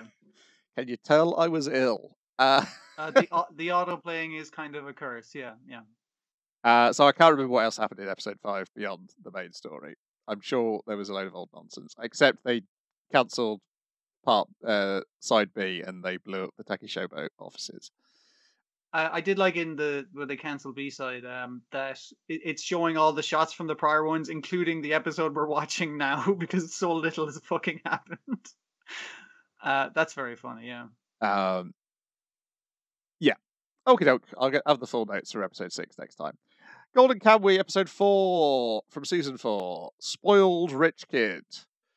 Hmm. Finally, we got Koito's flashback where he gets kidnapped by quote unquote Russians and rescued by his dad and Tsurumi. As That it's a great fun caper because he's being a little rich brat and he gets slapped by an older gentleman. Well, I guess he's then smitten for a little because it's like, wow, okay, uh, no one's ever fucking talked down to me before. I'll now trust you, old man. You wanna you want me to give you a lift on my motorized bicycle? Yeah, sounds cool. yeah, it's uh it, it's also yeah, they get kidnapped he gets kidnapped by quote unquote Russians. Uh this is all anyway, this all appears to be a plan because it's quite interesting is it's clearer in the comic that it feels like in the comic it's him remembering it from he- things he saw and things he was told, I think. Yeah. Uh, and I think if you know that from the comic, it's the same here because it's like I, I think it works like that. The way his, Yes. dad like heroically kind of comes in, like he's this is how him as a child pictured all this happening. Yes, or I think it's more like him remembering it in the present day because of Yeah, yeah, yeah. But, When but, the, but when his childish memory of it. yeah when his dad gets comes through the door and then gets hit by somebody behind him. You can clearly see the outline that it's somebody wearing the clothes we just saw Tsurumi was wearing, Yeah. Uh, and also that final look he gives Ogata at the end. You're like, did he make that look then, or is that him in remembering it like now? I'm remember I remember who the fuck Ogata is now. Yeah. Yes. Because yeah, the key is when it doesn't come across as well here is the key when it in the comic when this appears back at the hospital when they're confronting Ogata after they've taken him to the hospital and he escapes. Uh, is he says the spoiled rich boy line in Russian, and then Hmm. that makes Koito have this flashback and remember when one of the kidnappers said the same thing to him, and then he's like, "Hang on a second, the, the Yeah, events of that uh, that day quite play the same way I remembered it being." Um, With that new piece of information that sounds exactly like my memory of an old piece of information. Yes. Um, I, I get why they did it like this because it you, you can in a comic it's really easy to just Yes. like whiplash like cut away from the fucking action as it's happening and um, cut to like someone's memory. But in in a show that wouldn't really work as well. I think it would, but it wouldn't work as the last episode of the series. As the last episode or the first episode of a season as well. Yes, I feel like that might. What's I think that I think the problem. I think the problem this episode has as an episode is it's your you don't have that context of recognition on Koito's face in the present and then go into the flashback. You- yeah, yeah. Not even I, I, even because that happened last at the end of the what we got in, instead of that was happened at the end of last episode. Hmm. So it might work if you were binge watching it, bizarre, oddly enough, but not when there's a week the week gap. I think so. I've seen people confused by why on my anime list forums going, "That's just another flashback. It's not important." So fucking No, important. it's super important. it's super key because yeah, it, it's Yeah. like it's so I, I, I the thing. So Tsurumi has pulled this plot. He's got um, Ogata and uh, I can't remember his name because with STSU, the other guy who's wandering around with Koito at the moment. yeah.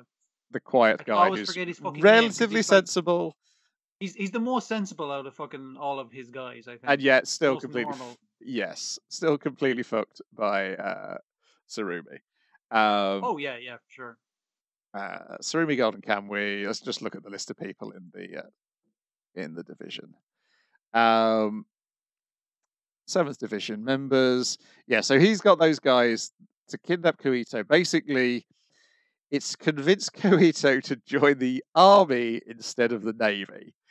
Yes. Um. So basically, his dad is an admiral, uh, like a high up admiral in the navy, who's working on these new kind of ships and stuff like that. So these Russians who kidnapped his son, um, are basically asking his new torpedo boats. I think is what he's working on. Um, to stand down so we can go destroy those boats. And but obviously the naval father is like, yeah, I will actually sacrifice my son for this because this is too important to the nation. Though it pains me to do it. Um, but as soon as the father gets the chance to go on a rescue mission, he fucking goes himself with with Yes. Tsurumi in tow, helping him out. Um, most of their clothes come off. Uh, Yes, and they end up essentially both dressed as different versions of Freddie Mercury. Uh, it's pretty great. Um, yeah, yeah. yeah, because he's already lost one son. That's why it, it's it's another dead brother. like it, it's the idea that if he if he doesn't do this like like thousands of japanese will die um so he has to sacrifice the second son but as soon as he gets the opportunity like his son mentioning uh like saying is just like you know where where he's at that kind of thing they get the information of where he's at because they're the mansion that they they think he's been kidnapped from is like okay they have a guy watching this fucking place it's it's just to try and stop the informant and shut down the phone lines and that kind of thing um it's it's a complicated plan but since Tsurumi knows exactly what the fuck is going on because he planned the whole thing, it's actually not that fucking complicated. It seems like a lot of moving parts, but it's not. It's one guy planning the entire fucking thing. Yes. Um, yes, because yeah, he ends up with the dad getting knocked out, and then Tsurumi has remarkably managed to kill all the kidnappers, uh, who turned out to be uh, escaped prisoners of war, or possibly they were kidnapped prisoners of war who were shot. Uh, uh, Oh, we thought they were prisoners of war, but they must have still been Russian soldiers sent to infiltrate this place. And it's just like, no, he probably just killed a bunch of Russian POWs. Yeah. Yeah. Uh, yes. Uh, Tsukishima and Ogata are the ones pretending to be uh, the kidnappers. So our Which is young ob- lad is really impressed with Tsurumi, so he's more willing to join the army. And obviously, his his admiral father is like, absolutely, this would promote good relations between the army and the navy, which is proper. And I'm just like, well, that really works out for Tsurumi then, doesn't it? Yes, like, it does. hmm. He gets to the dad by the son. Uh. And was also created another incredibly loyal member of the Seventh Division. Up to now. up Up to now, because yeah, this is the point at which yeah, uh, that doubt has begun to creep in. Hmm, I think hmm. that was always in Tsukishima's mind, but we know from his flashback it's like he's still He- he Tsurumi for feel like life he has any other option, Yes. basically. Yeah. until Tsurumi shows that, yeah, that maybe he's not on the up and up, in which case he might put a bullet in his brain. Um, Hmm. um, yeah, so this is this is this is the unraveling of Koito, but also uh, even for last season, Koito's like elevated up to like one of the main characters. Yeah. particularly once he kills Kiroranke, uh, and it's seen it's Yeah, not seen yeah. as like a a bad thing that he does it at the time because it's questionable, as we'll get into the next episode. is like, like you can say a lot about Kiroranke, but like he he had his reasons for doing what he was doing, and honestly, they sound pretty legitimate. Um, yes, yeah.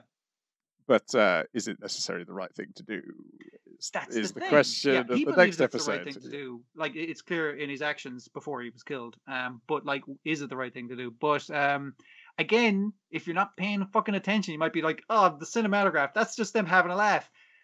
This fucking showman, right? So like, there's a bit where there's there's several things talking about dicks, right?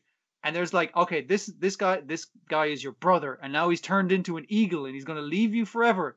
And it's genuine character emotion from the kid going like, he has been like a brother to me. The guy playing the guy who's turned into an eagle has been Yes. like a brother to me. God, he has really set me up for a really fucking good life. And then that man bursts out of his chicken suit naked into the fucking snow. and it's very stupid, dumb fucking jokes with like real fucking feelings attached to it. Those dick stories are very important to us, Surfa. They're they're people's fucking culture, goddammit, and they're important. And they are, even though they're stupid stories about dicks that are very funny. Yeah. How is it uh, balancing this? I don't fucking know. It's amazing. I'm curious as to when this chapter came out because this this this story reminds me of so much of the documentary now episode, which is a parody of the Nanook of the North. Yeah. God, they might Uh, be coming from the same fucking place. Jesus. Yeah. Mm, mm. Well, obviously, this is also coming from a real place because this is an episode Yeah, with yeah. a real person in it. Uh, Katsutaro Is the real person Inaba. the silent Frenchman or the? Uh, I don't know if? I don't know if Jarell is a real person, but uh, Katsutaro Inaba is indeed a real person. Hmm. Uh, yeah, so he's going uh, around filming people. Uh, in, in particular, at the time, he's filming uh, Ainu, which um, catches his attention because Sugimoto is insisting, "I'll fucking talk to Serpa. You fucking stay away from her, lads. Uh, she'll she'll open up to me about this shit." And she's performing the um, a ritual for hunting in these woods. It's and he's talking like, "I thought you weren't religious." Is like, and she's like, "These traditions are a way of like, I think they're for centering your mind to to get into the the thing of hunting so you're you have your wits about you when you're going into the wilds and that kind of thing and she she's kind of appreciating the idea that this isn't for religious reasons it's for um societal personal reasons but that actually have benefit now and a, a random passing by filmmaker goes like oh fucking cool could you do that again um i want to i want to take a shot of um the Ainu ceremonies and traditions and stuff and then they get attacked by wolverines yeah. Yeah. So uh, episode two of documentary now, Kunuk Uncovered was 2015. This chapter was 2019. So oh he could have fucking watched it he Yeah, could have watched yeah. it, yeah. Um, because that that's a similar thing where it's a parody of because it's a parody of Nanook Revisited, the thing about like going into the fakery involved in Nanook of the North. Um, yes But Yeah, the, the the crux of Kunuk Uncovered is that the guy who they hire to be the focus of their film ends up taking over the production and direction and casting of the entire thing. And, as, and that is exactly what happens here. Yeah. Surfer takes over Yeah, yeah. everything, we have her in like the director's glasses, the director's hat, um, barking she, orders she becomes being very much so the the power mad director, and everyone has Yes. to go to her whims. Um, because like- uh, I li- they they save this um, filmmaker from two Wolverines. Um, yes. uh, and he- he- you you owe me one, so you need to do what I, whatever the fuck I say. You need to take footage of what I think you should. Yeah, I, I really like how the actress who plays the surfer, when she gets angry, it just stops being even pretending to be a 13 year old girl's voice. It's just an adult woman barking orders an at adult men. voice. It's because she's putting on her big boy voice. Yeah, yeah, Yeah. Um, it's very funny. But Yeah. like it, her thing is basically uh, he demonstrates the the thing that they're filming um by showing some of the the Ainu dances and him explaining he's not even doing this for like cultural preservation. He's doing this because like he, th these videos sell really well to um the the Europeans and stuff. I think is who he's selling Yes, them to yeah. um, of, of traditional uh, practices and that kind of stuff. And Asirpa sees this as this is a way of preserving our fucking culture. Holy shit, this is amazing. We gotta fucking do some of our t- tales. And he, the director's like, yeah, but the problem with Ainu tales is they're all oral, and you guys don't have a, a tradition of theater. And she's like, no, no, no, we can act them out. It'll work. It'll totally fucking Yes. work. Uh, and then they play them, and then uh, the Frenchman puts in a reel that they filmed uh, 10, year, tw- 10, 12 years ago, and it is all. Because it's like, oh, this this this person really reminded uh, these two people reminded me of it Yes. because you have this guy's eyes and you look really like this Ainu woman. Yes, and it's film of her mother and father, and Yeah. uh, And some of the guys are reacting as like, oh, is that what Wilk looked like when he had a face? Wow, okay. yes, Because um, they haven't fucking seen him with a face, and Asirpa's never seen her mother. And again, this just hammers home the the thing of film to her. It's like this is something I couldn't have fucking experienced without without this, like yes, uh, without passing but- down traditions yes, and that kind of thing. and also without yeah, she because it, she's like okay, I've got to see all these. I've got to see the other ID people, not just the Hokkaido people, and it's all because of Kiroranke. So He maybe was I doing should this follow. to make me see the rest of the way Yes. these people live, with the way my people live. So Yeah. maybe I should do the things he wants me to do. And then uh, Sugimoto's like, no, I don't want you to have blood on your hands because I know what it's like to have blood on your hands and you don't recover from it. And I don't want that for you. And she's saying like, I can't be the version of you that could enjoy persimmons. I can't be the innocent child version of you that's that's dead basically. From from Yes, killing she like accuses him of being selfish. And he goes, yes, that is some of it, but I know you don't know. Um, so therefore, Yeah. I'm going to try and protect you from that. Um, and and so now we're now we're at the uh, the new bit of the drama between our two leads of like, I'm going to try and protect you. You don't necessarily want me protecting you. and there, there's such a beautiful like symmetry from the earlier part of the episode because uh, when they're getting attacked by wolverines, Sugimoto's like, "Stay back! Its its fur is still bristling, so it's not dead yet." That kind of thing. And when Asirpa says, "It's like I think maybe I know what to do with this shit, and maybe it's to start a fucking war," like Sugimoto bristles like a fucking wolverine, Yeah. and he's like, "No, I'm not gonna let you do that." Yeah. Um, yeah, just really fucking. And again, a very fucking funny episode. Really funny. Lots of dick jokes. Um, yeah, plenty. and then and yeah, the, the stuff in the in the stories I think which echoes in the next Yes. episode.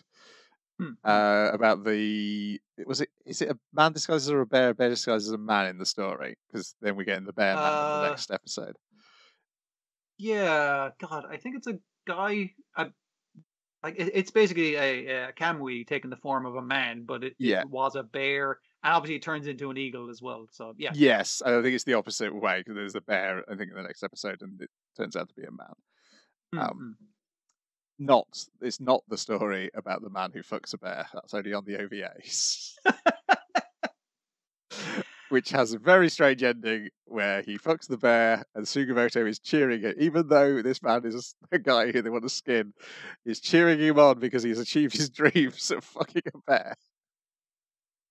yeah. Like again, the the. It, the, the show is weird in its funniness. Like Sugimoto, remar- like kind of remarking like he's really embarrassed. That is like, oh no, you can see my balls in that shot. Yes. oh my god you know um lot of lot of weird stuff and i, I really enjoyed that the, the narrator kind of going like all of these stories involve their dick somehow and yes that one idiot guy always dies at the end of the fucking story Yeah. somehow yes. Uh, and also Tanigaki going, I guess everybody knows that I've got enormous balls in this area because that's what uh, they- Chikapashi tells everybody. and, and again he's like i'm glad we brought these kids along because the, he's, the kid the, the other Ainu are like who's that fucking strange man with you and it's like oh that's my brother. He's got giant testicles. And the men laugh and it's like ha kids. You know it's like a good thing we brought these kids with us because this really fucking makes us look like not suspect at all. Yeah. and also now everyone knows i have giant testicles so you know win-win Well, Uh, yeah, it's a good episode. We got one more, and then on hiatus because somebody has died and they're essential to production. And so, we I mean, like that's hiatus. unfortunate, but I I prefer that than for them to rush it, like to get Yes, to get yeah. um to do it right, like yeah. It yeah. just, it just unfortunately means then people start trying to go, which, well, who was it? It's like the, the little bit of information makes the uh, the uh, speculation worse. I think than if it, Sure, it just sure. but um, such is death announcements in Japan. Um, I mean, it's it's a personal fucking thing. They don't It is, make yes. it public unless they want to. Like No, so, but, uh, um, I I just yeah, I hope they can um Oh, I, I don't Like- blame people for speculating either. It's just unfortunate that that always tends that to people w- do it because they're not saying yeah. who died. Yeah, I understand. Uh, always going to be people are always going to be curious because they want to like make sense of a bizarre situation in their heads. Um, Mm, mm. then finally, we've got Mob Psycho 100, episode th- oh, no, no, Mob Psycho 100, season three, episode four, Divine Tree one, uh, Manchester United appears? nil. Uh, founder appears. Uh, Mob Psycho 100, part three, Three, episode five, Divine Tree two, Divine Tree two. peace. Peace. Yeah. Uh, so the first part, I don't know about you, and this may be my age. I don't know whether this is an experience that people younger than me have, but the vibe it had is of a kids' TV show that you might have seen once that scared you, was like spooky and uh, made you uneasy, and then you couldn't remember the name of it for the rest of your life, and then eventually the internet came along and then you go oh that's what it was called uh it's got that sort of I- it's like the it's it's not scary it's just eerie as like everybody falls under the sway of the divine tree slowly except it, mob it, it's it's the thing of um it's the thing I really like of horror where it's it's not that there's a, a cat jumping out at you or like something to startle you. I fucking hate that. It feels cheap. It's the one that it's it's getting in under your fucking skin. It's subtle and unnerving. Uh, Yeah. yeah, yeah. I know the kind of thing you're talking about. Um, yeah. And another amazing thing about this is I don't know whether this is just the writing or my brain or the right uh, the, or my brain is in line with the writing of this, and that's why I enjoy it so much. There's a beat I can't remember where it is, what or even what made me think it. Uh, Maybe it's when he goes to uh, Hanazawa goes to confront uh, Psycho Helmet and then figures out who it is. Um, yeah, yeah.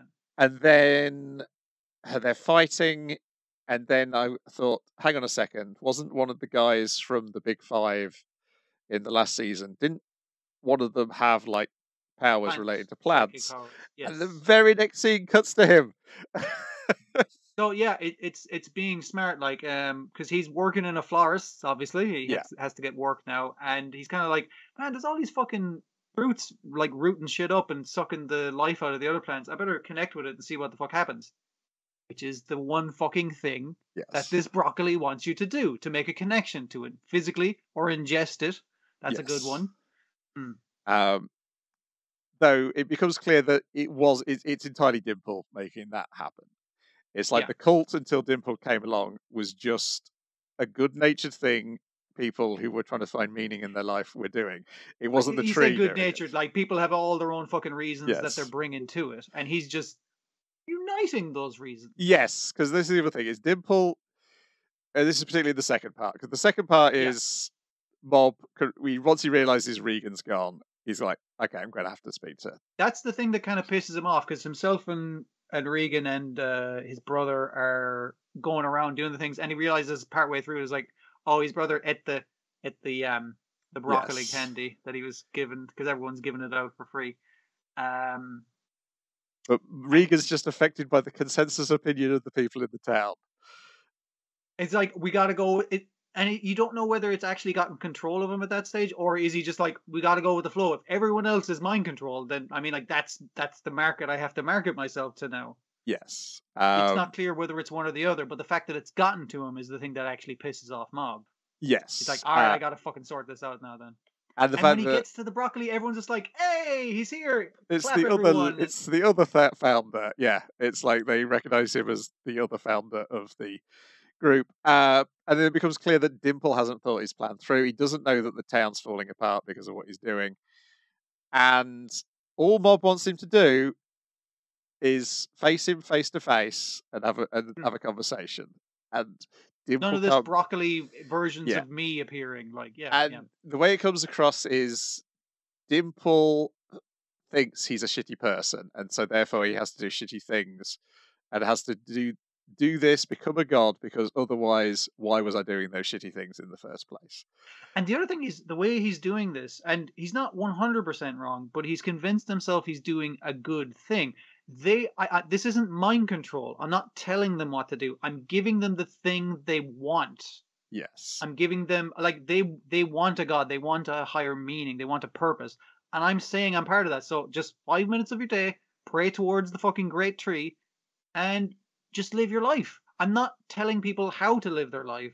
and I, I by giving them this, I'm being a good person, kind of, Oh, and also yeah, I'm getting yeah. all the spiritual energy. So you know, win-win. Uh, and we could rebuild the town, and then we'll, we'll take it, we'll spread it through Japan, we'll spread it through the world, uh, and we still won't come out and face him. And then they get into the fight, and but even when they're fighting, he's concerned about Mob. He doesn't want to hurt Mob, and you're like, Hmm. you're He telling wants yourself, Mob to join him. He wants Yes. like a lot of people, even Reigen, has like willingly joined him. That kind of thing. yes, he's like he know he thinks he's bad, but he can't be fully bad, and but this is all pushing him to one hundred percent. So it's all quite tragic for Dimple. But then it ends on a punchline of the thing which pushes him over to one thousand percent or one hundred percent is he destroys his school uniform and sees that terrible shirt he bought two episodes ago. the stupid monkey shirt. It's it's so good because it's such like a character thing. It's like Dimple, just fucking talk to me, man. Come out and face me and talk to me. I just want to fucking talk. Want to talk this through. And Dimple's like, I've taken on my godly form, and it's like, no, that's like a golden version of you. That's not you. I know who you are as a person. Talk to me. Like th- none of this fucking artifice. And it's just like I'm gonna fucking freaking kamehameha my way through this. It says Dimple, and it's just like, what a fucking stupid shirt click 100% um Yeah. very very very funny And then you're like, oh dear. And I wonder if next episode it's going to flip and and the villain will then be Mob, the hundred percent Mob, and yeah uh, even though neither of them are really the villain here, it's just Dimple no won't. they're, they're both flawed basically yeah. yes, Dimple won't admit to himself who he, what he really is. Um, they, they, they, have, they have the same conversation twice because Hanazawa has like almost the same conversation with him in episode four, but they're not close. They're not as close friends as Mob is. See, yeah hanazawa doesn't know him personally No, which is why it doesn't like it, it should work but he like because again there's not that personal connection he, he can't get the whole way with it he becomes uh corrupted or controlled Yes, he gets or like- yeah. influenced by dimple yeah yeah, he gets stuck in the tree, and then once he gets released, then yeah, he's uh, on Dimple's side. Um, and they, they talk about like his would be girlfriend didn't get brainwashed; she just came of here of her own accord. See, that's Uh, the thing. The people that because she's a very strong-willed individual, and she just saw that this was good, and this is good for a lot of people. So she came to me, and that's why she's never going to go to you, mob, because you're not the you don't stand out. You purposely don't fucking stand out, and even if you get buff, that's not going to fucking do it because she'll make she makes her own decisions. Yeah, You can't uh, force her into decision. And I'm not forcing her into this. She naturally came to me. Yeah, naturally um, is debatable, but yeah. yeah, it's uh, yeah. And when the the girl from the photography club is the one who lets Mob through as the final person into the thing, I was Yeah. like, is she actually under control, or was she just doing all this to get Mob here uh, to see what happens? See, that's the thing. She mightn't have eaten any of the candy. She mightn't be brainwashed or yeah. brain It's, it's influenced just the look on her Dimple face. forgot. It's just like the look on her face was like, oh, now I've got what I wanted all along, which was to get Mob into here to see what happens next. But what she wants to do is get Mob there, which lines up to the rest of the cult of the Great Yes, Tree. yeah, And what other people want is meaning in their life or personal thing. What Reigen wants is like, well, this if this is where the market's going, it lines up to people's interests, but it's not necessarily right. Yeah. Um, but there's still loads of characters we haven't seen yet, so they may show up next episode as well. Yeah, Um, yeah. because there's loads of the other psychics. Because you're the guy from Reigen's office. Uh, was uh, he's he's not involved yet. Um, Yeah, yeah. um, nor is uh, the uh, the son of the last villain, whose name I've Yeah, forgotten. yeah, yeah. The one who's clearly The- in love with. guy. Yeah, the one who's clearly in love with Bob's little brother. Um, um, yeah, yeah. yeah, so I assume they will either show up uh, in the next episode or to deal with Mob now he's got 100%. Um, if this show was just like the the interesting character writing that they've they've got this huge cast and everything and working it all together works really well. And like you say it was like wasn't there like a plant guy? Yep there he is. Like it's very smartly written but also those fights are fucking class. Yes, Like the- the many- broccoli mobs that are attacking him and just getting like ripped to shreds um just really fucking cool looking stuff. Yeah, because that's the good thing about the fight as well is you never feel like Bob's in danger. Um, No, it's no, no, Dimple is it's- the one It's, it's the it's the one thing of our hero is not uh our One Punch Man or our mob is like he's not in danger. Don't worry about that. That's not what this is about as a No.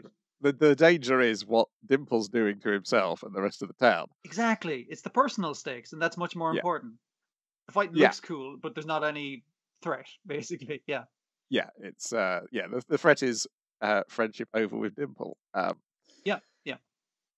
Uh yes, wonderful series. I feel like this uh, I think put all these together it's probably going to be like a classic when you've got all three parts Yeah, yeah. sitting next Easily. to each other. Uh, I do think uh, part two felt a little slow compared to part one for me, but this feels. This is Pretty really quick- running. Yeah, I think maybe I'm just used to the pace of part two now, and that's it is keeping up that pace. That could also be. That's true. Yeah, yeah. Uh, and maybe because I haven't read these comics uh, twice in the same way that I'd uh, read the earlier stuff. Um, sure, sure. I do wonder if there's going to be some more original material like there was previously. Uh, whether they'll I mean, get that's, what? that's worked when they did it right. yeah, I mean they got an episode where one did the animation, so they may do that again. Oh, he's got another Hmm. series starting, hasn't he? But he's only writing that, not drawing that. okay. Um, okay. I don't know where that's running. I don't know if that's one of these ones which might show up on uh, the Shonen Jump app or not. Otherwise, that is it for this week. Um, I did briefly check in on Urusei Yatsura, and I really like Mamoru's voice. Uh, Miyano is the, it's the only voice where I don't think of the original actors when I hear it. Um, they, uh, I'd forgotten that Ten in the comic doesn't show up as early as he does in the anime, and yet when they did the Princess Kurama story, they didn't do her origin story from the comic. They skipped ahead to the story where they try and get Mendo to kiss her and uh, bring her out of her suspended animation and be her husband as her introduction instead. And that story in the comic does have Ted in it, and he's not in this version because they've Oh. not introduced Ted yet. Oh, that's, that's, uh, yeah, because I thought they were going to do like a more uh, manga adaptation, but obviously they're skipping to the bits they want to do as well.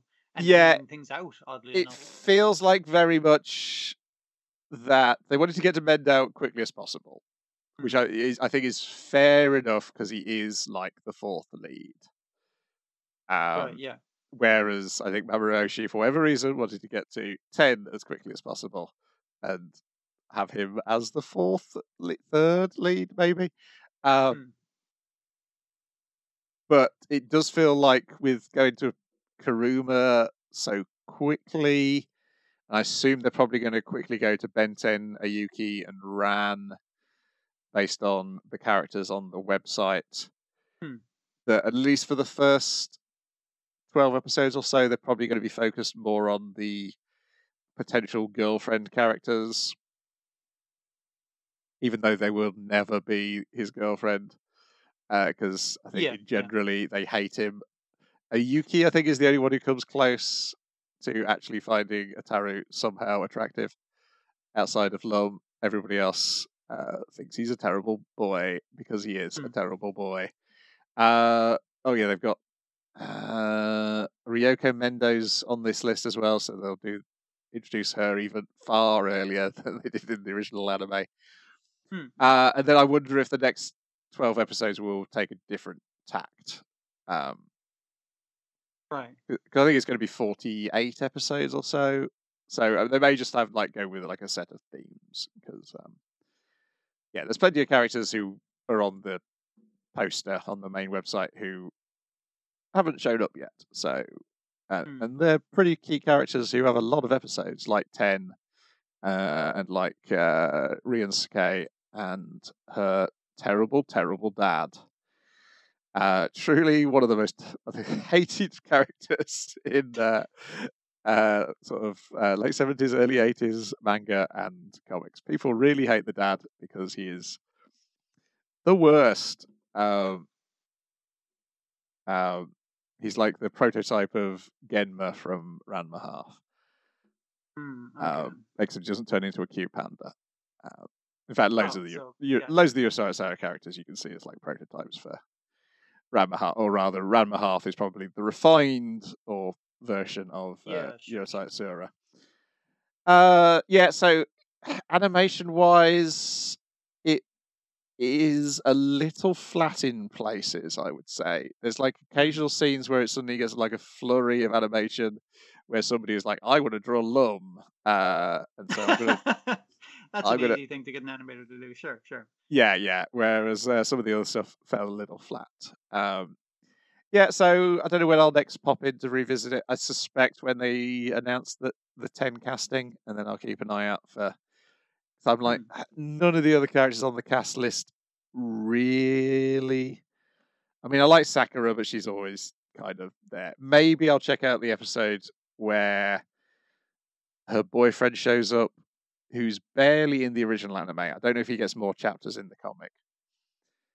Because the gag is that she's a uh, Shinto priestess slash school nurse, uh, and her boyfriend is like a Western black magic practitioner. Oh yeah, the two different schools of magic. Yeah. Yes. Uh, and there's an episode where they end up going to the disco, and all the kids follow them to the disco, and then they end up summoning loads of monsters in the disco. And as I occasionally run a panel about anime discos, um, That's I will be- wheelhouse, Yeah. I will be interested in seeing how they represent that in the new anime. Hmm. Uh, maybe also when Lum's mum shows up, because that's where she's being voiced by uh, Fumi Hirano, the original Lum. Hmm, And hmm. as I remember it, she just talks gobbledygook. Uh, so that should be an easy paycheck. Yep, has to be subtitled. Uh, so subtitles on subtitles, I think, in the old uh, AnimEigo Hmm, releases. hmm. Uh, otherwise, next week, uh, what is coming up? We've got no Got, like less than half of what we were talking about today. We've got we've got no Edgerunners. We've got no Dragon Quest. Uh, let's have a look at Hmm. no sh- um, Detective Conan for a bit. So yeah, no Detective Conan. Uh, we've got one episode of Golden Kamuy to come. Hmm, hmm. Uh, this week we had Tatami Time Machine Blues drop, but I guess we can put that off a week and we can use that to replace Golden Kamuy exactly because we'll be missing six episodes of Golden Kamuy and there are exactly six episodes of Tatami Time Machine Blues. okay, okay. Um, that is on Disney Plus. Um, I think that is it. Week ending the eleventh. Yeah, nothing else new is coming up. If we move that to Hmm, hmm. Tommy, uh, I could also move these JoJo's in the spreadsheet down a notch. Um, so this week we'll be doing episode twenty-two. And that means we won't have to have a week where, because I've been ill, that will prevent me having to do a week where we suddenly go back to let's go for a week. We've, we've run out of JoJo's episodes, and then immediately more JoJo's episodes arrive. Hmm, hmm, hmm. So, yes, we can be JoJo's going forward until we hit episode 38 of uh, Stone Ocean. Yeah, yeah. And then there is. I don't know what the deal is with this Lupin Zero. Is that Hmm. str- where? What is that streaming on? It's a thing they announced very quickly, and it's coming very soon. Um, Yeah, kind of out of nowhere. uh, Lupin Zero, not to be confused with Episode Zero, The First Contact. It is six episodes long. It is airing December the sixteenth, twenty twenty-two. Okay. Um, so we can probably not have to worry about that till uh, then. Hmm. Me and Roboco, that's coming in December as well, isn't it? Uh, yeah. So. Could At the end of forget anyway. about that one. And detect the culprit Hanzawa is probably only coming to Japanese Netflix this year, and we'll probably have to wait a bit Okay. uh, for that. I think that's it, though. I don't think there's anything else new coming along to, that we know of. That we know Hmm. of, because I did not know I of mean, Lupin. yeah, something could easily that sneak. that Lupin Zero came out of nowhere, and I was like, "Oh, that's good. Must be coming out next." No, what? A, a few months time? Okay, right. Um, and it's the thing I was asking for when we were talking about the previous season because they were doing all those allusions to him as a kid, Hmm. and uh, now we're getting it. Hmm.